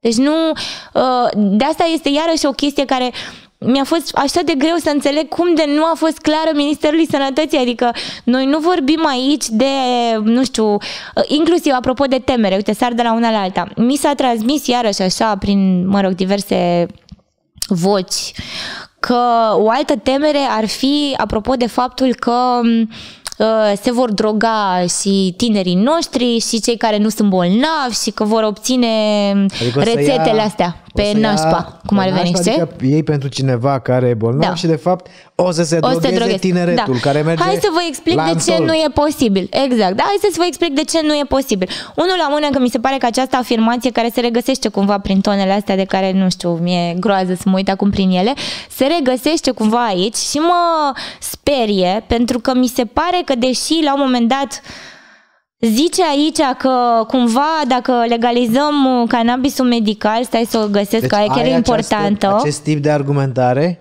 Da, stai, stai, că ți-o zic imediat. Știi, știi ce este comic? Că inițial vreau să te rog să nu intri în... Uh, să-mi citești... Uh, păi uh, n-am cum, că nu pot să rețin așa să, ceva. Nu, nu, nu, dar acum chiar te rog să mi le citești pentru că sunt nu ceva senzațional. Așa ceva. Eu am crezut că e așa Nu, nu, nu e. Nu, nu, nu. Tu credeai deci că eu sunt supărată degeaba? Material. Eu de când sunt mamă nu mă mai supăr degeaba, să știi. Nu, gata, nu, chiar te rog să le citești acum. De tot ce nu, ai, nu. te rog să citești că nu, e, mai, e senzațional. Eu nu știam că oamenii mai gândesc așa în 2021. Ba da, stai că o caut eu imediat, că acum deocamdată eu pot să zic pe repede înainte și o caut eu imediat. Deci ideea de ansamblu e așa, că la un moment dat se face mențiunea că, deși în proiectul de lege nicăieri nu scrie că s-ar înlocui terapia uh, chimioterapeutică sau, mă rog, o altă terapie pe cancer, nu scrie nicăieri așa ceva, deci este o altă dezinformare și un alt lucru spus cu rea intenție, pentru că ar putea să dezinformeze cineva care n-a citit proiectul de lege și mă refer la medici, la oncologi, da. la, uh, să zică, a, pe cum se susține asemenea proiect care uh, face ca actul meu medical să fie îngrădit, da? Și culmea, argumentația asta există aici, adică zice că prin acest proiect de lege noi am putea cumva, da, să îngrădim actul medical care uh, ar trebui să prescrie și să facă Cum normal. Adică îl îngrădește? Nu știu, incredibil. când este o opțiune. Nu știu, nu știu, nu știu, lasă-mă să o caut că uite, că acum când sunt supărată nu găsesc. Însă, vreau să-ți răspund la uh, ceea ce, de unde plecasem, la, înainte de punctul ăsta de vedere, era vorba de faptul că se folosește fără um, ideea de hai, se folosește Așa. normal, ok, bun. E, și de ce nu există acest argument și de ce iarăși mă șochează că nu uh, nu au fost atenți da, la conferință când li s-a povestit treaba asta. De ce nu ar putea să se drogheze tinerii sau cei care vor să fure o rețetă? Unul la mână. Mi se pare înfiorător uh, Uh, să ai acest punct de vedere oficial, pentru că asta înseamnă pe contrariu, cel puțin așa îmi zice logica mea, că nu te încrezi în uh, medici. Da? Nu te încrezi în medicul care prescrie o rețetă. Adică cum ar veni, e ușor coruptibil, eu asta înțeleg, nu? Adică ne teamă rău de medici care ar putea să dea o rețetă nasoală. Ok, hai să depășim asta, să zicem că medicul nu știu, eu, în opinia mea n-ar face așa ceva, cu siguranță medicii. Însă, că se întâmplă în atâtea țări, nu s-ar întâmpla acum în România. Bun, să zicem că s-ar întâmpla asta. Cu toate astea, cineva care vrea să se drogheze pe românește, da? care vrea să folosească cannabisul în uz recreațional, tocmai ți-am povestit că atunci când se prescrie, da, și când farmacistul îl prepară, îl prepară împreună cu CBD-ul, care CBD-ul îi taie din start efectul psihotic, da, și care nu mai dă efectul ăla de hai. Să zicem că ar fi unii care l-ar obține la început și ar vedea că n-au efectul ăla de hai, dezamăgire, cruntă, la revedere, nu? Înțelegi? Asta nu e drog, e fake. Păi asta zic. Și atunci, dacă s-au explicat clar Fals argumentele argument din astea, nou. Da, din nou Înțelegi? fals argument. Nu, încerc să-l găsesc pentru că e foarte important, dar mă rog, între timp uh, sunt cu multe altele, adică uite, fac referire la uh, cannabis, vorbeau de cannabis sativa și de cum uh, ce nasol este că avem CBD-ul, mă rog, e o argumentație iarăși legată fals, amestecă CBD-ul cu THC-ul, că e legal. Că Uh, la pagina 19 mi se transmite de soțul meu, Care are dar grijă și de ar fi copil. foarte bine care Iată. da, dar observă ce copil cu minte avem, care Chiar nu zice sunt- nimic. adică, de- cum Îți dai să- seama că e obișnuită cu mine că vorbesc despre Nici cannabis n-a toată vrut ziua să- acasă. Deci de care e ochi. problema, iubitule? Eu pagina 19 nu am numerotată. Dăm un punct de... Ah, poți să-i dai bravo. telefonul. Bravo, bravo. Nu să că mi-a citească făcut, un, direct de pe- mi-a făcut un print Ah, screen. ah, ok. Bun. Mi-ai dat aia cu nivolumabul sau așa? Păi e asta. Deci, mă rog, zice și aici ceva. Considerăm că, a, asta e o altă, a, nu, tu caută mea cu nivolumabul și nu știu ce, că acolo e, fii atent. Nu, asta e altceva. Da, e bună și asta. Considerăm că nu este îndeajuns ca stabilirea tuturor atribuțiilor și a modalității de organizare și funcționare, nu știu ce, a Agenției Naționale privind cannabisul. Bref, ca să-ți explic, asta e chiar e o pierdere de timp. Proiectul de lege inițial, când a fost uh, întocmit, la momentul acela, eu chiar am asistat la discuțiile astea, uh, Ministerul Sănătății de la momentul respectiv și-ar fi dorit înființarea Agenției Cannabisului uh, pentru, uh, mă rog, scopul medical, da? Între timp, Parlamentul a redactat și l-a inițiat, respectiv doamna Dumitrache, cuprinzând Agenția Cannabisului. Între timp, sunt câteva state în Europa, ca și paranteză, care au decis să facă agenție specializată pentru că, probabil, nu știu, n-aveau suficient un departament taxat în cadrul Ministerului, mă rog. Între timp, nouă pe proiectul de lege, ne-a venit un punct de vedere de la Agenția Națională a Medicamentului, care nu a fost unul negativ, a fost unul care ne-a arătat unde am, ar putea să fie îmbunătățit proiectul de lege și, în același timp, ne-a arătat că este în curtea lor asumarea acestui proiect. Și aveau logică. Între timp, când a ajuns la cameră, prin amendamentele depuse atât de asociația mea, dar și asumate de inițiator, Cannabis, agenția cannabisului nu mai există, da? Deci este, s-a adus uh, tot în curtea ANM-ului. Ce mi-a trimis soțul meu acum e foarte interesant pentru că arată în plus că deși, ok, să zicem că n-au citit, n-au, nu s-au informat din Parlament, n-au făcut nimica, Însă, în cadrul conferinței, gândindu-mă, ca să vezi ce înseamnă, știi că sunt așa tipicară, gândindu-mă că poate nu știu nici de amendamentele astea, am avut o secțiune aparte când cineva respectiv uh, Cosmin Mureșan, a susținut amendamentele și le-a explicat ce am făcut, să modificăm asta în proiectul de lege. Deci, doamna Bunaciu a ascultat aceste amendamente. E, ne aflăm în uh, acest moment în etapa în care dumneai face referire la Agenția Cannabisului. Deci, deci na, eu aici doar i-am scris, vezi amendamente. Adică, da. la modul, iarăși îmi vorbești despre ceva arătându-mi că clar nu ești informată. Nu ești informat. Deci S-a s-a supărat Maria. discutat. S-a supărat și Maria acum, da, Da, da, da mama. uite, pe Ministerul Ideea este că Sănătății. trebuie să găsesc acela cu nivelul mapul. Bun. Acum, uh, nu mai vorbim despre, deci ți-am povestit cu ONU, ți-am povestit cu CBD-ul, Bun, acum îți mai spun încă ceva, asta mi s-a părut iarăși foarte frumos, Na, o, o să o găsesc și pe asta cu nivelul mobul. Zice așa, că la un moment dat ajunge la o comparație între ce vrem noi să facem în România cu statul Colorado din SUA, da? Mi s-a părut fabuloasă comparația și o să-ți spun și de ce. Colorado este primul stat din Statele Unite care a legalizat recreaționalul acum șase ani. Da? Acum SUA se află... Vrei să vii la mama? Hai un pic. Ar putea, dar s-ar putea să nu fie bună acum ideea, că știu ce-și dorește. Știu ce-și dorește și eu sunt hrana la Dar să știi purtător, că deci nu e putem cazul. să luăm o pauză. Dacă Asta că terminăm acum, uite, îți mai zic, a, uite, mi-a găsit și soțul meu, dar haideți să vorbim întâi de cele două minute de, de chestiile astea care sunt importante cu Colorado și apoi cu nivelul Mabu și, și pe Maria. Bun. Uh, face comparația cu Colorado, da? Col- nu aș avea nimic împotrivă. Colorado este acum la, nu știu, 10 ani distanță de România, da? Ei vorbesc și despre, am citit niște discuții, vorbesc despre uzul terapeutic al ciupercilor. Deci suntem într-o altă Da, zonă, deci știi? altă planetă, deci nu, practic. mi s-a părut așa hilar, zic, cum să faci comparație cu Colorado? Nu avem state din Europa care au legalizat și mai mult decât atât, că asta iarăși am menționat-o și eu ca și argument, Măi, noi în România iarăși avem o vorbă bună de ani de zile. Noi tot timpul când nu ne convine ceva, zicem, avem obișnuința asta, zicem, da, dacă eram în Germania, Așa. în Germania, ce se întâmplă, ce corect sunt ăia, cum fac ea lucrurile. Ce crezi? Legea Germaniei este una dintre, nu, este cea mai bună lege din Europa în momentul de față. Pe cannabis. Nemții au legislație de, cred că acum 2 ani, pacientul își primește de la momentul emiterii rețetei în 3 zile rețeta de la farmacie, sub formă de tinctură, floare sau nu, am niște detalii dacă te interesează din lege pe care pot să ți le zic. Sunt stabilite foarte clar normele, totul e minunat, este un, deci bref, legea Germaniei este un model european în momentul de față. Multe state, eu am adus în cadrul conferinței pe cineva, un avocat uh, din Germania care este membru al unei organizații europene din care acum fac și eu parte, cum m-au invitat ulterior să fac și eu parte din organizația lor, a explicat clar cum merge treaba în Germania. A explicat de ce, exact ce ți-am zis eu, de ce oamenii nu se droghează, de ce ne ajung, de ce statisticile ulterior uh, aprobării proiectului de lege le arată clar că ajunge fix la pacienți, că rata cea mai mare pentru care se atribuie cannabisul este durerea, că sunt foarte mulți pacienți într-o categorie de vârstă în care se vede clar uh, incidența între boală și, mă rog, vârstă și diverse alte afecțiuni, că acum fac un studiu ca să arate clar care sunt patologiile pentru care se dă cannabisul. Adică lucrurile sunt foarte clare și coerente, știi? Au un registru, zic într-adevăr că au o deficiență acolo pentru că nu au fost obligați pacienții să fie integrați în acel registru și așa că cifrele nu sunt alea reale,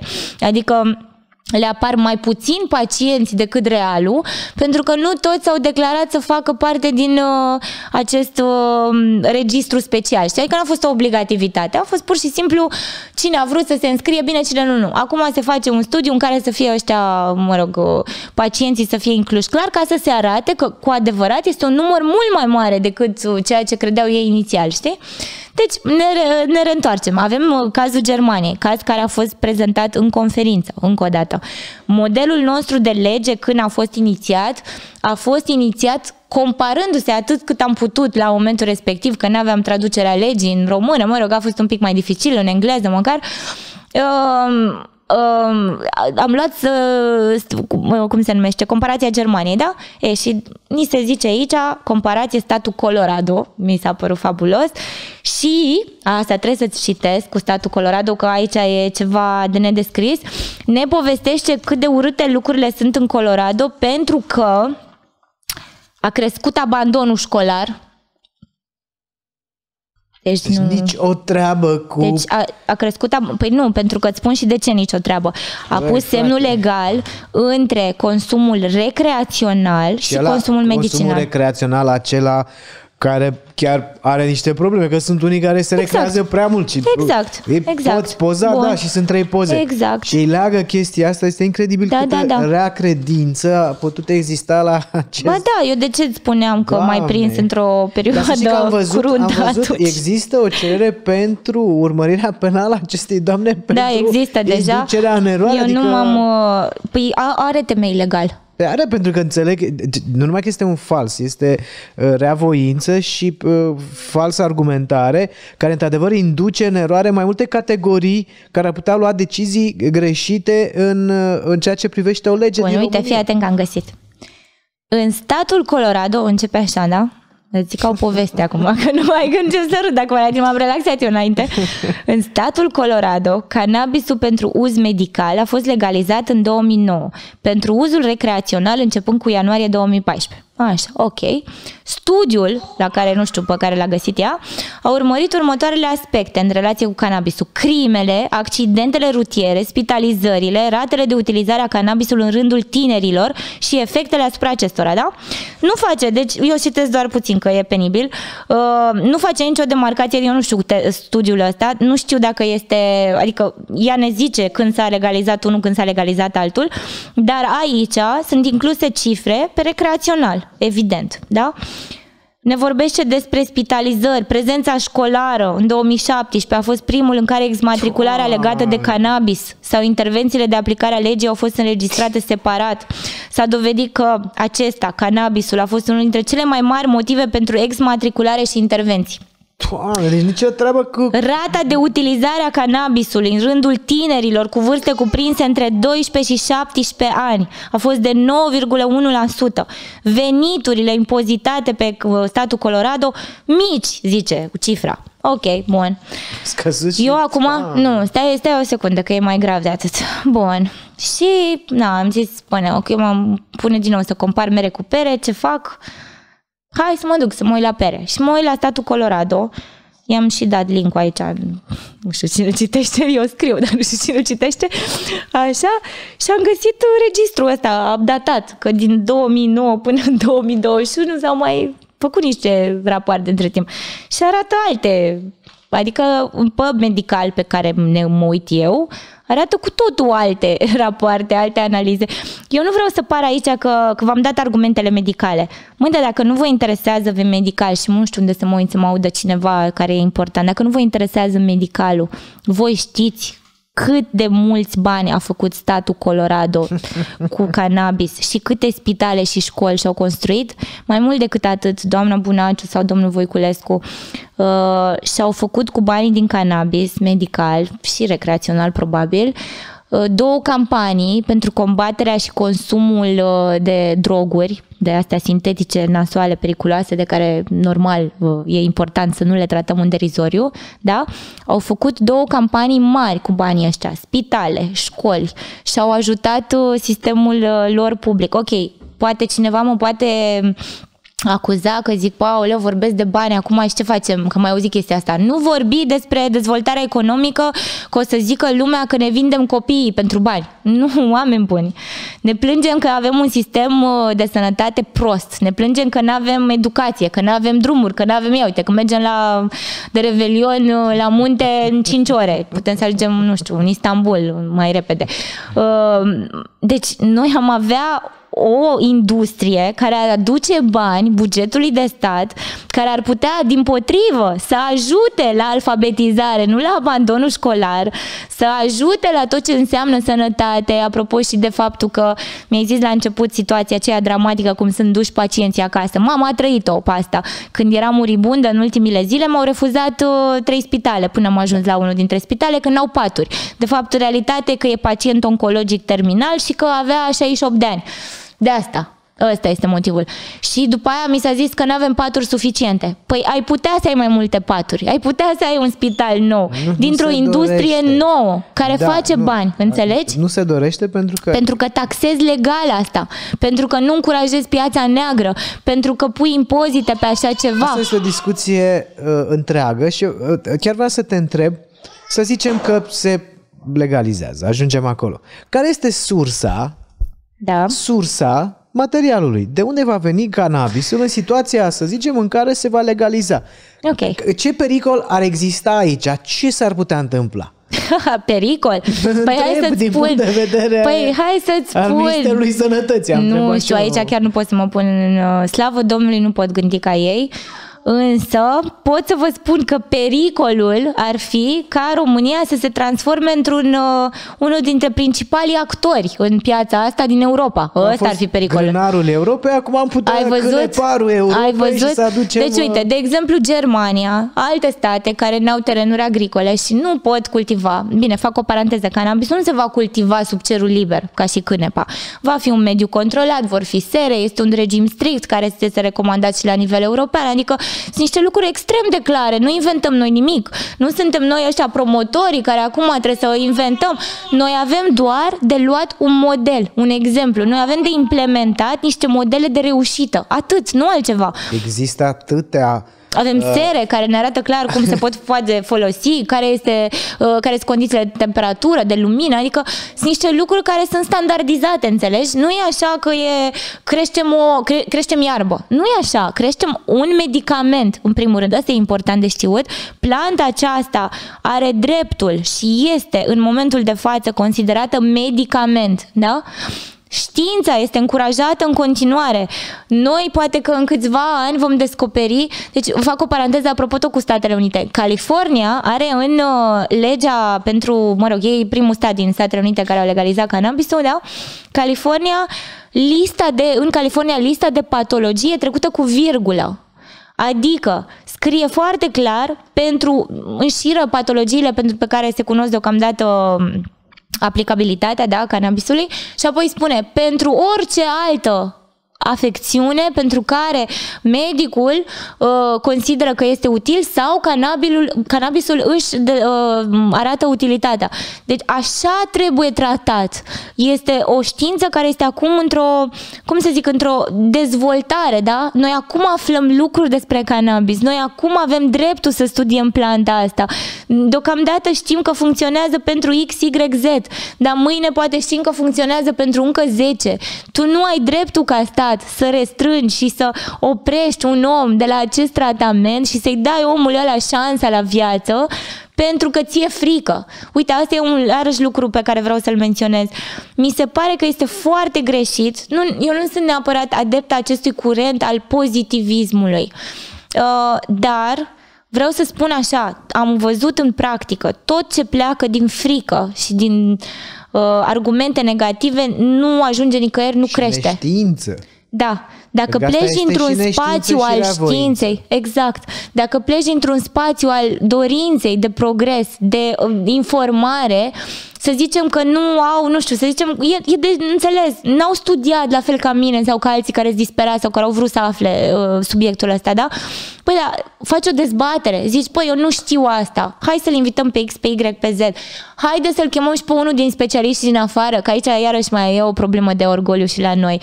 Că mi s-a transmis la un moment dat că de ce am luat eu pe specialiști ăștia din afară? Păi oameni buni, pentru că la noi nu există specialiști. Avem niște oameni într-adevăr care au făcut niște Eu pasionați, au făcut studii, dar nu poți să-l compari pe unul care a făcut studii cu altul care a avut pacienți de-a lungul anilor, care a văzut în practică cum să administreze, cum să urmărească un pacient, de ce i-am adus. În niciun caz ca să dau peste nas cuiva, ci pentru că acești oameni și-au oferit sprijinul să le dea cursuri, să le facă. De altfel, asociația mea a făcut deja primele două cursuri online cu un medic din Malta și acest medic din Marea Britanie, care, de care ți-am zis și de care mă leagă o prietenie și o recunoștință deosebită. E un om deosebit. S-au arătat Mike Barnes. Doritori?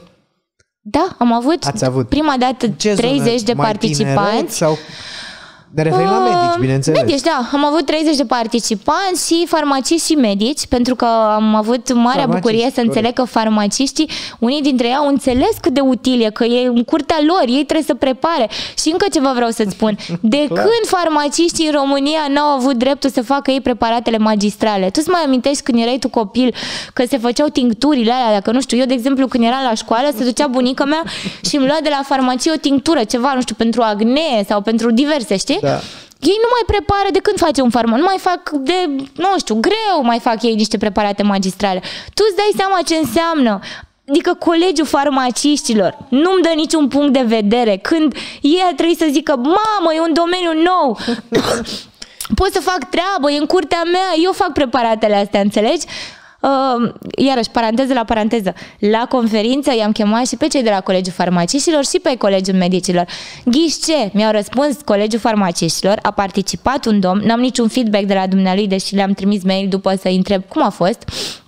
M-am bucurat însă că au stat până la sfârșit. Colegiul Medicilor nu mi-a răspuns nici acum. Deci răspundeți Colegiul Medicilor, dar până la Colegiul Medicilor, dăm te rog păi o listă. e important pentru că e, gândește-te că sunt Știi mulți că și- medici evident, nu. care vor să lucreze. Ironic. Păi evident, pentru că este o industrie din care vor câștiga bani și posibil bani mulți. În America este o mega industrie în care, în care Locuri de muncă, uite că am găsit aici, am scris în 5 care pagini de Au argumente. intrat privații. Deci Mike Da, da. Tyson are un domeniu. Are, Da. Vrea să construiască un glamping. Deci face, are și uh, uh, uh, Da. uh, serele cu cannabis și alături vrea să facă glamping, adică camping de lux, să stai și vai și fumezi. Uh, deci e mega industrie. Dă-mi te rog o listă cu țările Așa.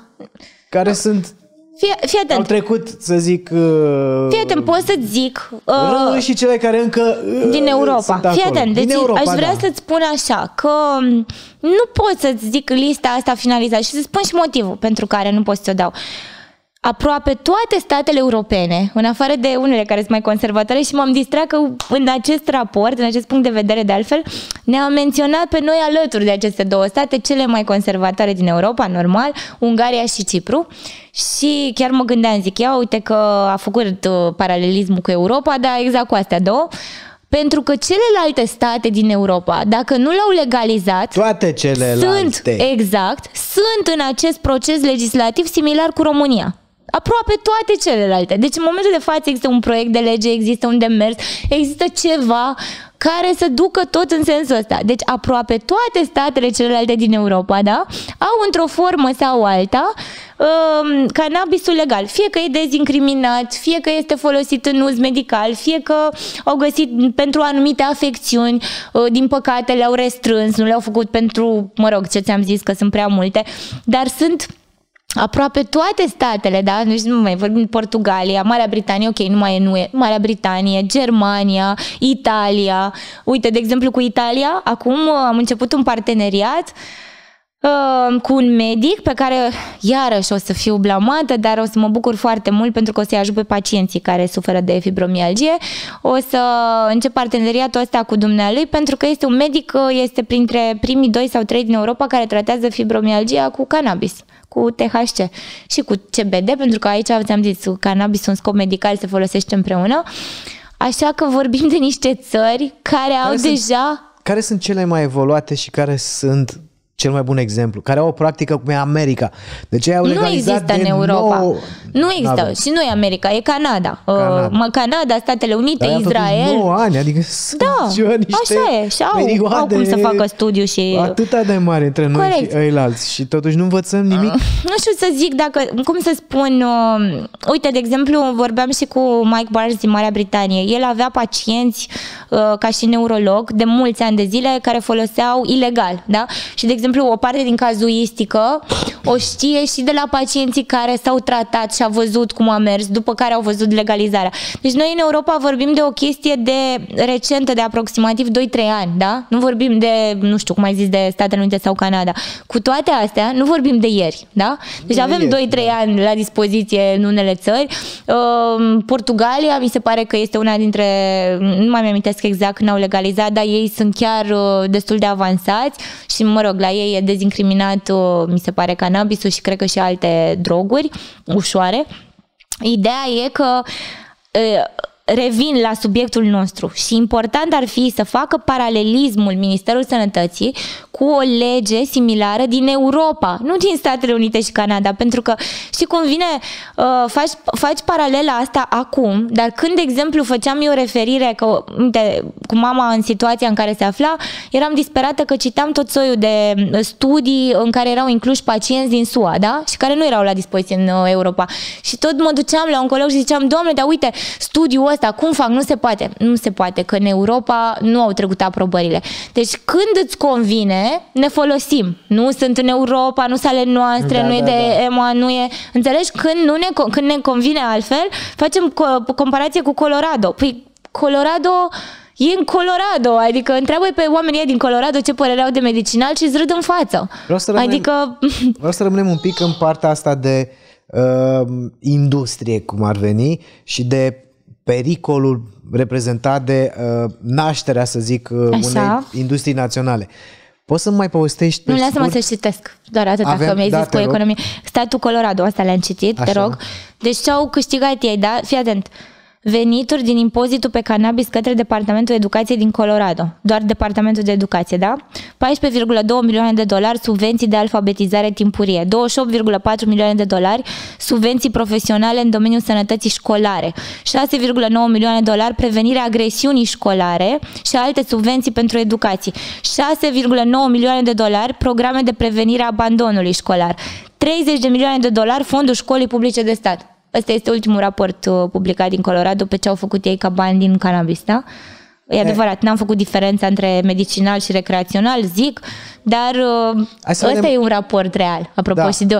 A, și uh, industria în Colorado, deci conform estimărilor grupului de politici privind cannabisul, o licență activă echivalează cu 0,467 posturi echivalente cu normă întreagă, adică acest lucru sugerează că industria cannabisului doar din Colorado are aproximativ 19.592 de angajați echivalenți cu normă întreagă.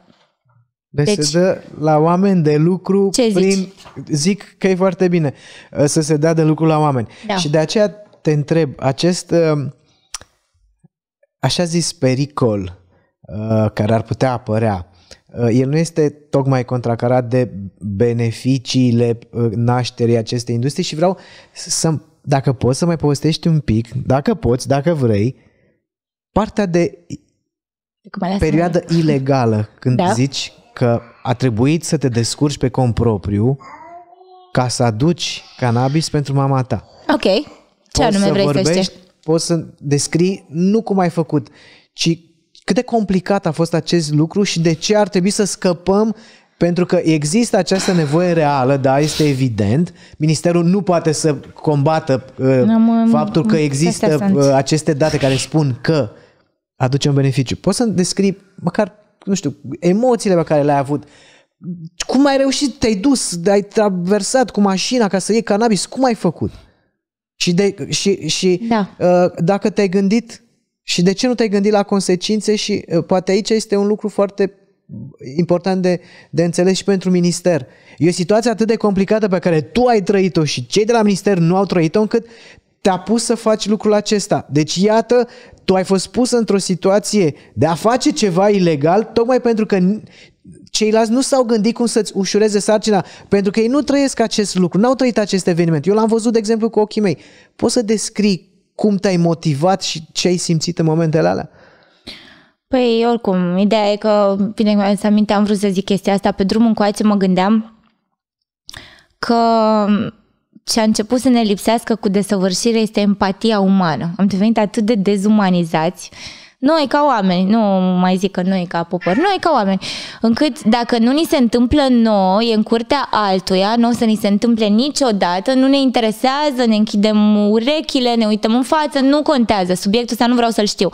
Și am uitat cu toții că de fapt lucrurile astea se pot întâmpla oricui, și familiei noastre, și oamenilor dragi nouă, oricui. Și să știi că mai devreme sau mai târziu, sunt, fo- sunt convinsă că, din păcate, așa e viața. Foarte mulți dintre acești oameni care tratează superficial subiectul vor găsi o situație similară în jurul lor și se vor întreba sau își vor aminti cum era cu cannabis, oare servește cannabisul și îți spun asta pentru că să știi că, fără să dau nume, de-a lungul timpului, da, mama, ești de acord cu mine, știu, de-a lungul timpului sunt persoane care m-au căutat după ce politicieni care m-au căutat ca informație să le-o dau după ce și-au descoperit în familie un caz Aha. grav de problemă de sănătate. Aha. Da, am pățit deci, asta, iată, am trecut prin asta. Da? Când ne atinge pe noi, ne da. interesează da. și cannabisul și legalizarea sau da. și te-au căutat. Mai spunem un pic cât a durat perioada de ilegalitate? Mai a durat ceva și vreau să uh, revin la chestia asta pentru că vreau să spun următorul lucru.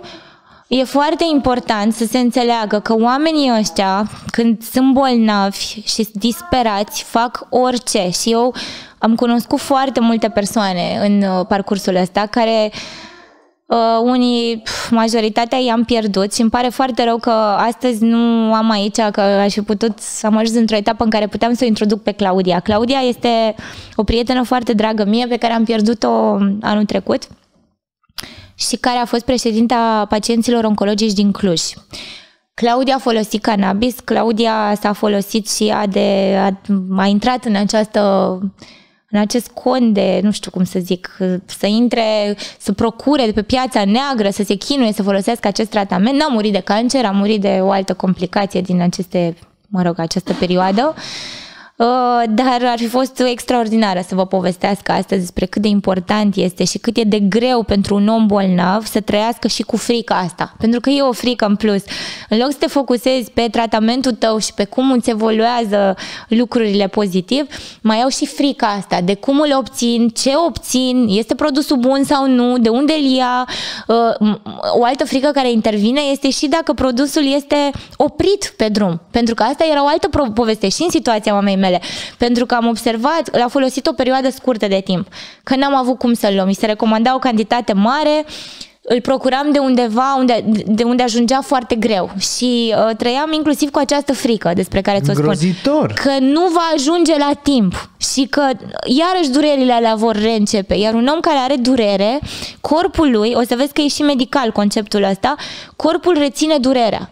Și în momentul în care un om deja are frica acelei dureri, gândul că tu nu mai ai cum să-ți acoperi uh, durerea respectivă și că vei ajunge, că uite, nu vine ăla, dacă e oprit, dacă ce se întâmplă, dacă ne bate poliția la ușă, dacă nu vine tratamentul, ok, vine poliția, dar nu vine tratamentul și totuși am nevoie de tratament, înțelegi ce zic? Adică e un cumul aici și este înfiorător pentru că nu ai niciun medic cu care să te poți consulta, nu poți să-l iei dozat, nu poți să-l iei dintr-o sursă sigură, nu poți să știi ce calitate a produsului ei și poți să, nu știu, poți să ai cazuri în care toxicitatea crește, că poate, na, e un, un habar n-am, contează foarte mult cum e cultivată planta, de-aia îți spuneam că sunt niște norme clare în scop medical, știi? Adică sunt niște lucruri care, cu care nimeni, e foarte ușor să zici că ăla e traficant sau că ăla vrea de, de fapt să se drogheze. Bă, da, în cazul mamei mele sau altor oameni care era ultimul lucru pe listă să-și dorească așa ceva. Și vreau să spun, în perioada în care a folosit, Mama mânca, mama avea un stil de viață normal, mama niciodată nu a vorbit confuz, niciodată nu a vorbit despre Uh, așa cum ți-am zis, uh, cum făcea înainte cu morți, stafii, alte... Deci nu avea această capacitate a ei de viață redusă, da? Era perfect conștientă. Eu instinctiv, fără să știu la momentul respectiv cum se folosește cu CBD și THC, instinctibile, uh, bine, cumva și ghidată de informațiile pe care le aveam din SUA și din alte părți, îi dădeam și CBD-ul împreună cu cannabisul și așa că ea n-a avut niciodată acest efect psihotrop. Și uh, un alt efect al cannabisului este că, cum să zic, mă rog, e mai mult chimic tot procesul. În cazul unor afecțiuni atât de severe, uh, Uh, nu are cum să se ducă atât de ușor la creier, știi? Pentru că um, există niște procese chimice, corpul dacă este profund afectat, întâi el merge în acele zone mult mai ușor, ajunge mult mai greu la creier, iar la creier ajunge într-adevăr mult mai ușor dacă este fumat. Fumatul nu este permis nu este în proiectul... Lista, da nu este pe lista Nu doar că nu este, de... exact, de utilizare, dar nu este doar în România, nu e nicăieri în Europa, da? Dar se poate folosi, uh, cum se numește, în inhalat. Da?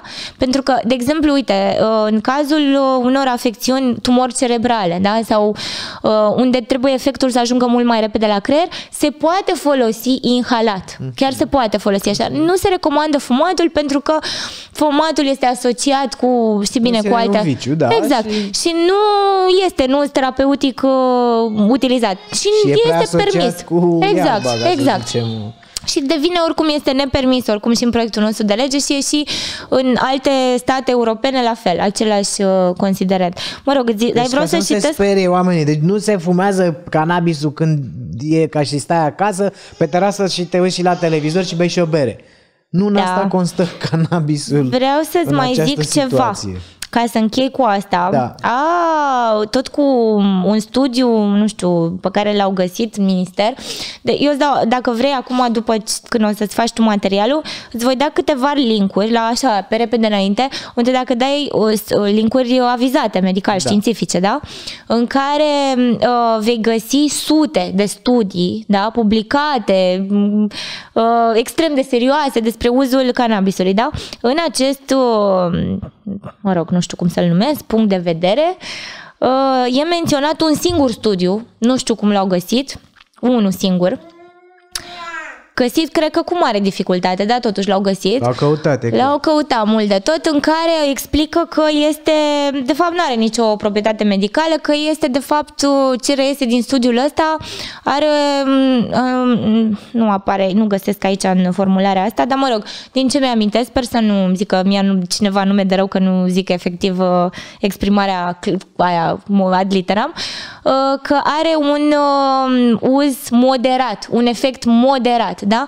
Deci, practic, își bazează argumentarea în continuare că pe baza unui studiu care arată efectul moderat al cannabisului, nu am putea să justificăm acest tratament uh, pentru că în paralel drogurile zrele, nenorocesc Da. copiii, abandonul școlar Uh, și duc la sărăcirea da, sărăcire întregii și omeniri. toate cele și la un moment dat mai scrie ceva că aia mă, mă supără că nu găsești și știi cum e cu legile lui Murphy când Exact. cauți nu găsești, dar poți O să-ți să dau eu după găsești aia pe după argumentare emisiune, da. scrie ceva de genul, a, uite, ok, Ah, hai că în ai argumentarea mea am găsit, da, Așa. în fine, scrie așa, că cumva pune, asta iarăși mi se pare ceva atât de urât, îți, ți-am îți menționam mai devreme, cumva uh, creează fundamentul ăsta pentru medici, dacă nu citesc proiectul de lege, să creadă că dacă s-ar administra cannabis, nu li se mai dă lor dreptul să...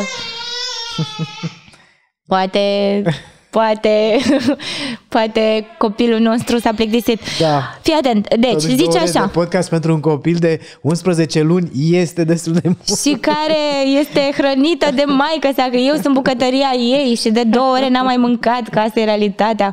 Eu, da, încurajez Ne apropiem la... de, de Da, o, o ok. concluzie. Bun, deci uh, vreau să închei și cu treaba asta, da? Zice că am fi în proiectul de lege asocierea dintre cannabis și imunoterapia cu nivolumab sau a terapiei unice cu nivolumab ar fi cumva făcută în proiectul de lege, deși nu scrie nicăieri treaba asta, da? Și scriu eu aici, în argumentare, că nu găsesc asta, da? Zice că Uh, de fapt, cumva îi îngrădești calitatea, uh, cum să zic, pregătirea medicală și actul medical și îl faci pe medic cumva să opteze între terapia aia și terapia cu cannabis, ceea ce este Ah, nu numai Ca și fals. cum ai, ori, e ori medic, ori șaman sau cum? Da. Adică îl transformă Odată. în, în, în uh, dealer de droguri sau că- cam Nu, asta da. înțeleg. Dar- Între ghilimele, metaforic, desigur. N- Nu, dar este mai grav decât atâta, pentru că este o opțiune, da? Pe care o lași la în îndemâna medicului sau a sau a pacienților. Dar uh, ideea e că mă Ne uit un apropiem pic de final, da. Uh, mă uit un pic că, Dorian, po- poate ai putea să ieși un pic cu Maria ca să poți să... Da? Ideea e că mă doare sufletul și de copil, Eu așa cred- că o să trebuiască să te Da, termin cu dar războiul cred că ăsta. ne mai vedem Dar o vreau dată. să spun așa, da, că cred că trebuie să ne mai vedem, că mai am multe de zis.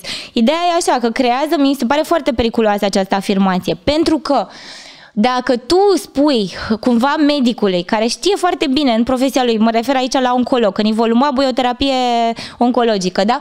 Dacă tu spui oncologului că îi lași cumva în proiectul ăsta de lege impresia că el uh, o să trebuiască să prescrie cannabis în loc de nivolumab, este nu numai o greșeală, este complet lipsită de orice argument valid, complet fals afirmația. Unu, pentru că nu este stipulat așa ceva. Doi, la mână, este de fapt cannabisul va fi introdus ca o terapie care va fi, nu știu cum se va ajunge în România, îți spun cum se întâmplă în uh, Germania sau în alte state. Întâi se epuizează niște alternative medicale și apoi se ajunge la cannabis. E, uh, sau în alte state există altă variantă. Se optează pentru una dintre terapii, în Marea Britanie, de exemplu, e așa, se demonstrează că nu a folosit, nu a funcționat și apoi se merge pe altă terapie. Deci, practic, ce vreau să se înțeleagă este că dacă se va aproba cannabisul, dai o șansă în plus să mai optezi pentru încă o soluție. Nu e obligatoriu, nu, Nu este înseamnă obligatoriu. Că, ce, că de acum încolo toți pacienții Corect. oncologici vor trebui să... Nu, deci este o opțiune extra la tot ceea ce a descoperit, să zicem, până acum medicina. Da. Nu este obligatoriu. Nu, de acum nu vor trage uh, cannabis, nu vor apărea ferme, iar uh, pacienții vor fi obligați. Nu. Și- este și doar nu un este- extra Exact. option pentru o persoană afla- și pentru o familie, de fapt, nu e doar pentru o persoană. O familie întreagă poate opta pentru această situație sau nu. Asta e bine. E, uite, nu știam treaba. Și mai e un lucru important, nu este obligatoriu nici pentru medic să se specializeze în asta. Nu devine o obligativitate, că iarăși am mai auzit chestia asta că ar putea medicii să se sperie că li se cere că sunt unii care sunt profesori, doctori de o viață. Măi, oameni buni, știu. nu e vorba nici de asta. Cine va dori să se specializeze în terapia aceasta, se va specializa. Cine nu, nu. Își vor continua profesia în continuare. Iarăși nu este, și mi-e teamă, vreau să fac lucrurile astea clare și mă bucur încă o dată că mi-ai dat ocazia asta, pentru că dacă această dezinformare continuă, ar putea chiar și niște oameni de bun simț din domeniul medical, niște medici să creadă că, uite, vin unii acum să-i mai pună la școală încă o dată pe unii care sunt deja specialiști în domeniul lor. Dacă nu vreți, nu veți fi specializați în așa ceva. Dar uh, cred de asemenea, văzând modelul celorlalte state, că ușor, ușor uh, sunt pacienți care vor căuta într-adevăr medici cu această spe- specializare și cred că este, cum să zic, piața liberă Bineînțeles. și concurența ține na de orice altă meserie. Să Da. fiecare să-și facă treaba cum vrea, adică dacă vrei să înveți mai mult și asociația mea o să continue să facă cursurile astea. Eu mi-am uh, asumat rolul ăsta pentru că vreau să mă axez mult pe educație a pacienților și a medicilor. Voi continua să fac cursuri pentru că toți minunații invitați de la conferință uh, și-au dat acceptul de a susține cursuri pentru cei care își doresc. Și o să fac asta în continuare pentru că cerere există și vreau să vă fac clar asta. În afară de 2-3 care cred că pot să oprească procesul ăsta și care, nu știu, să zicem, inclusiv medici, care se opun, sunt și medici în România care vor să lucreze cu asta. Și vreau să mai fac o mențiune. La conferința pe care am organizat-o, am avut bucuria extraordinară să-l avem ca participant și vorbitor, și susținător, și care a stat aproape 8 ore alături de noi, profesorul Vlad Ciurea. Eu cred că toată România îl cunoaște pe profesorul Vlad Ciurea. E, are și o vârstă respectabilă, are o carieră deosebită. E un om care nu poate fi contestat din niciun punct de vedere. Profesorul Vlad Ciurea, cu o săptămână înainte de conferință, a fost chemat la un post TV, la nu mai știu care, nici nu contează, și l-au întrebat așa foarte serios ce părere aveți despre cannabisul medicinal în România. Aveți înregistrarea, puteți să vedeți unde a dat interviu și dumnealui așa brusc senin zice o părere extraordinară, știu de unde a plecat demersul, de la mama unei paciente, uh, știu și cum a continuat demersul, știu că a trecut de senat. Eu am rămas surprinsă când am văzut materialul, nu luasem legătura cu dumnealui la momentul respectiv și am zis, wow, atât de informat un medic. Și a zis, eu particip la congrese de acum zeci de ani când mi se spunea în alte țări câtă utilitate are cannabisul și consider că este un pas înainte pentru România să legalizeze în scop medical cannabisul. Domnul profesor Ciurea a avut curajul să vină la conferință și a luat cuvântul, s-a informat ca dumnealui, sunt convinsă că sunt foarte mulți alți medici care din diverse motive, nu știu, le e frică, nu vor să vorbească despre acest subiect sau, din păcate, pentru că ne știm sistemul medical din România, sunt prea multe probleme cu care se confruntă sistemul medical ca să-și mai facă timpul, să-și aloce timpul să haide să mă preocup și acum și de cannabis. Știi ce Dacă zic? ești pasionat, tu mai găsești Da. încă o soluție la ceea ce Corect. Administrezi tu, încă o soluție la, la încă, încă, încă o soluție umană pentru altcineva care a, chiar are nevoie de chestia asta și aș vrea să încheiem uh, fără a finaliza complet discuția. Eu sper să mă mai chem, adică vezi că Eu vreau să, te vreau mai să iau. contactez pe, pe domnul Ministru- ministru, ministrul sănătății. pentru că vreau să aibă o poziție. Aia nu e o poziție. O, mi-aș este dori o foarte mizerie. mult și mi-aș dori să fie acest dialog, pentru că nu O l-am să avut încerc, niciodată. O să încerc.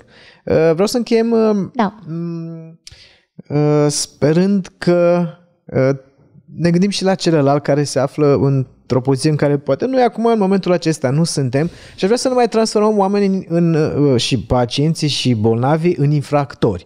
Pentru că sistemul asta face, obligă în, ce îmi povestești tu, practic, ați fost obligat să practic încălcați... Și încă mai sunt mulți alții în situația mulți, asta. Da. Nu se poate, adică cât timp există o, o, o motivație pentru care am putea să scoatem oamenii în această situație îngrozitoare, haideți să facem un efort, mai este puțin, acesta nu este un punct de vedere, este o porcărie, hai să discutăm să discute ei acolo pentru că este atât de aproape. Și uh, aș mai recomanda să dispară și să cadă comunismul și la Ministerul Sănătății în anumite birouri acolo ce am citit este jur, deci uh, nu știu dacă ai prins Ți las, tu, ca să nu mai văd eu. Prins. Era o emisiune pe vremuri înainte de Revoluție se numea, cred că din lumea capitalului Uh, cred că fusese uh, înainte reflector, ceva de genul ăsta. Și acolo arătau tot timpul drogați. Iată, droguri, eu asta țin minte despre droguri, drogurile care omoară oameni, pentru că ei vreau să arate, iată, decadența societății capitaliste. Cred că până, până în ultima zi la Revoluție aveam uh, genul ăsta de reportaje. Aia este, deci uh, uh, poziția Ministerului Sănătății din 2021 este fix din lumea capitalului, de zici că vor să arate ce, ce, da. ce decadență, uite unde putem să ajungem și cum au zis acolo, poți să mai citești primul da, paragraf, te rog frumos. Aș vrea să încheiem, să încheiem cu paragraful ăsta? primul paragraf care este, iar finalul lui este, e, e ceva apoteotic. Fenomenul. Dată, te rog, deci aș vrea să încheiem pe aceste cuvinte, nu, pe aceste cuvinte aș vrea să-l invit pe domnul Vlad Voiculescu la o discuție uh, și cu Alexandra despre legalizarea cannabisului, cannabisului medicinal, pentru că ceea ce urmează să citești tu nu aparține acestui secol. Și te rog frumos să mă citești odată. Dacă, dacă este ultima frază, vreau să rog și eu, cine te urmărește acum, să să mai semneze petiția. Și știi de Așa, ce? există petiția, da, există. corect. Semnați și știți petiție. de ce? Pentru că, ok, legea o avem în Parlament, dar eu pot să împing mai departe petiția asta și să spun așa, uite câte zeci de mii de semnături. Da. Așa că, oameni buni, chiar au contat semnăturile alea. Chiar contează semnăturile alea. Eu am făcut listă separată pe care o trimit constant oamenilor care sunt, mă rog, care ne decid nouă soarta acum, cu mesajele voastre. Pentru că sunt foarte mulți care au lăsat mesaje, povești personale, testimoniale, e suficient doar să le citiți.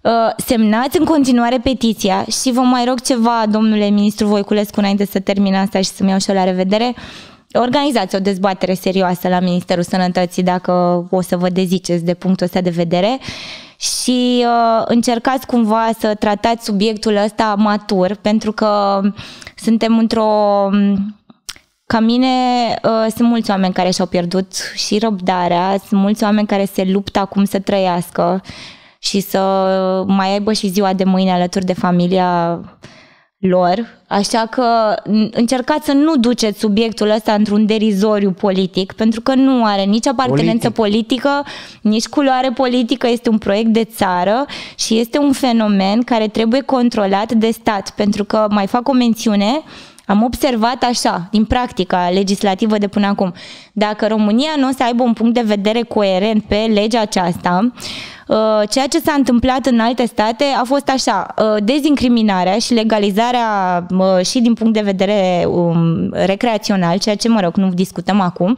moment în care controlul Ministerului Sănătății și al Guvernului se va pierde și Ministerul Sănătății pe ce înseamnă cannabis medicinal nu va mai avea aceeași importanță pe care o are acum, când are posibilitatea să aibă o lege corectă pentru pacienți în România. Așa că eu cred că ar trebui să ne gândim constructiv în felul acesta și să ne poziționăm și ca un partener european serios și să arătăm, poate și prin prisma acestui subiect, că România chiar nu e ruda aia săracă a Europei și că poate de la noi în viitor se, va, se vor aproviziona și alte state din Europa cu tratamentul cu cannabis medical. Și acum că am zis asta... Vreau să încheiem așa pe pozitiv, pentru că da. Da, mintea lui Tetelu, în general, încercăm să fim nu dramatici, nu triști, ci pozitivi. Și de aceea, hai să încheiem. Pe sus, pozitiv. Te rog, cu acest cu citat din Ministerul Sănătății, care pentru mine este uh, Bun. de un comic uh, involuntar deosebit. Fenomenul drogurilor se constituie într-o amenințare la adresa securității, democrației, bunei guvernări și a statului de drept, slăbind bazele dezvoltării durabile, sistemele juridice, stabilitatea politică și instituțiile economice și democratice prin repercusiunile negative pe care le are asupra sănătății publice, siguranței și bunăstării întregii omeniri. Băi, bunăstarea Pa, pa. întregii omeniri. Doamne! La mintea lui Tetelu, Alexandra Cârstea, cauza uh, legea Victoria pentru legalizarea cannabisului medicinal. Sper să ne revedem și cu ministru. Doamne ajută și știința ajută și la aveți mai multă minte în țara asta. Mulțumesc! Pe data care va mai fi.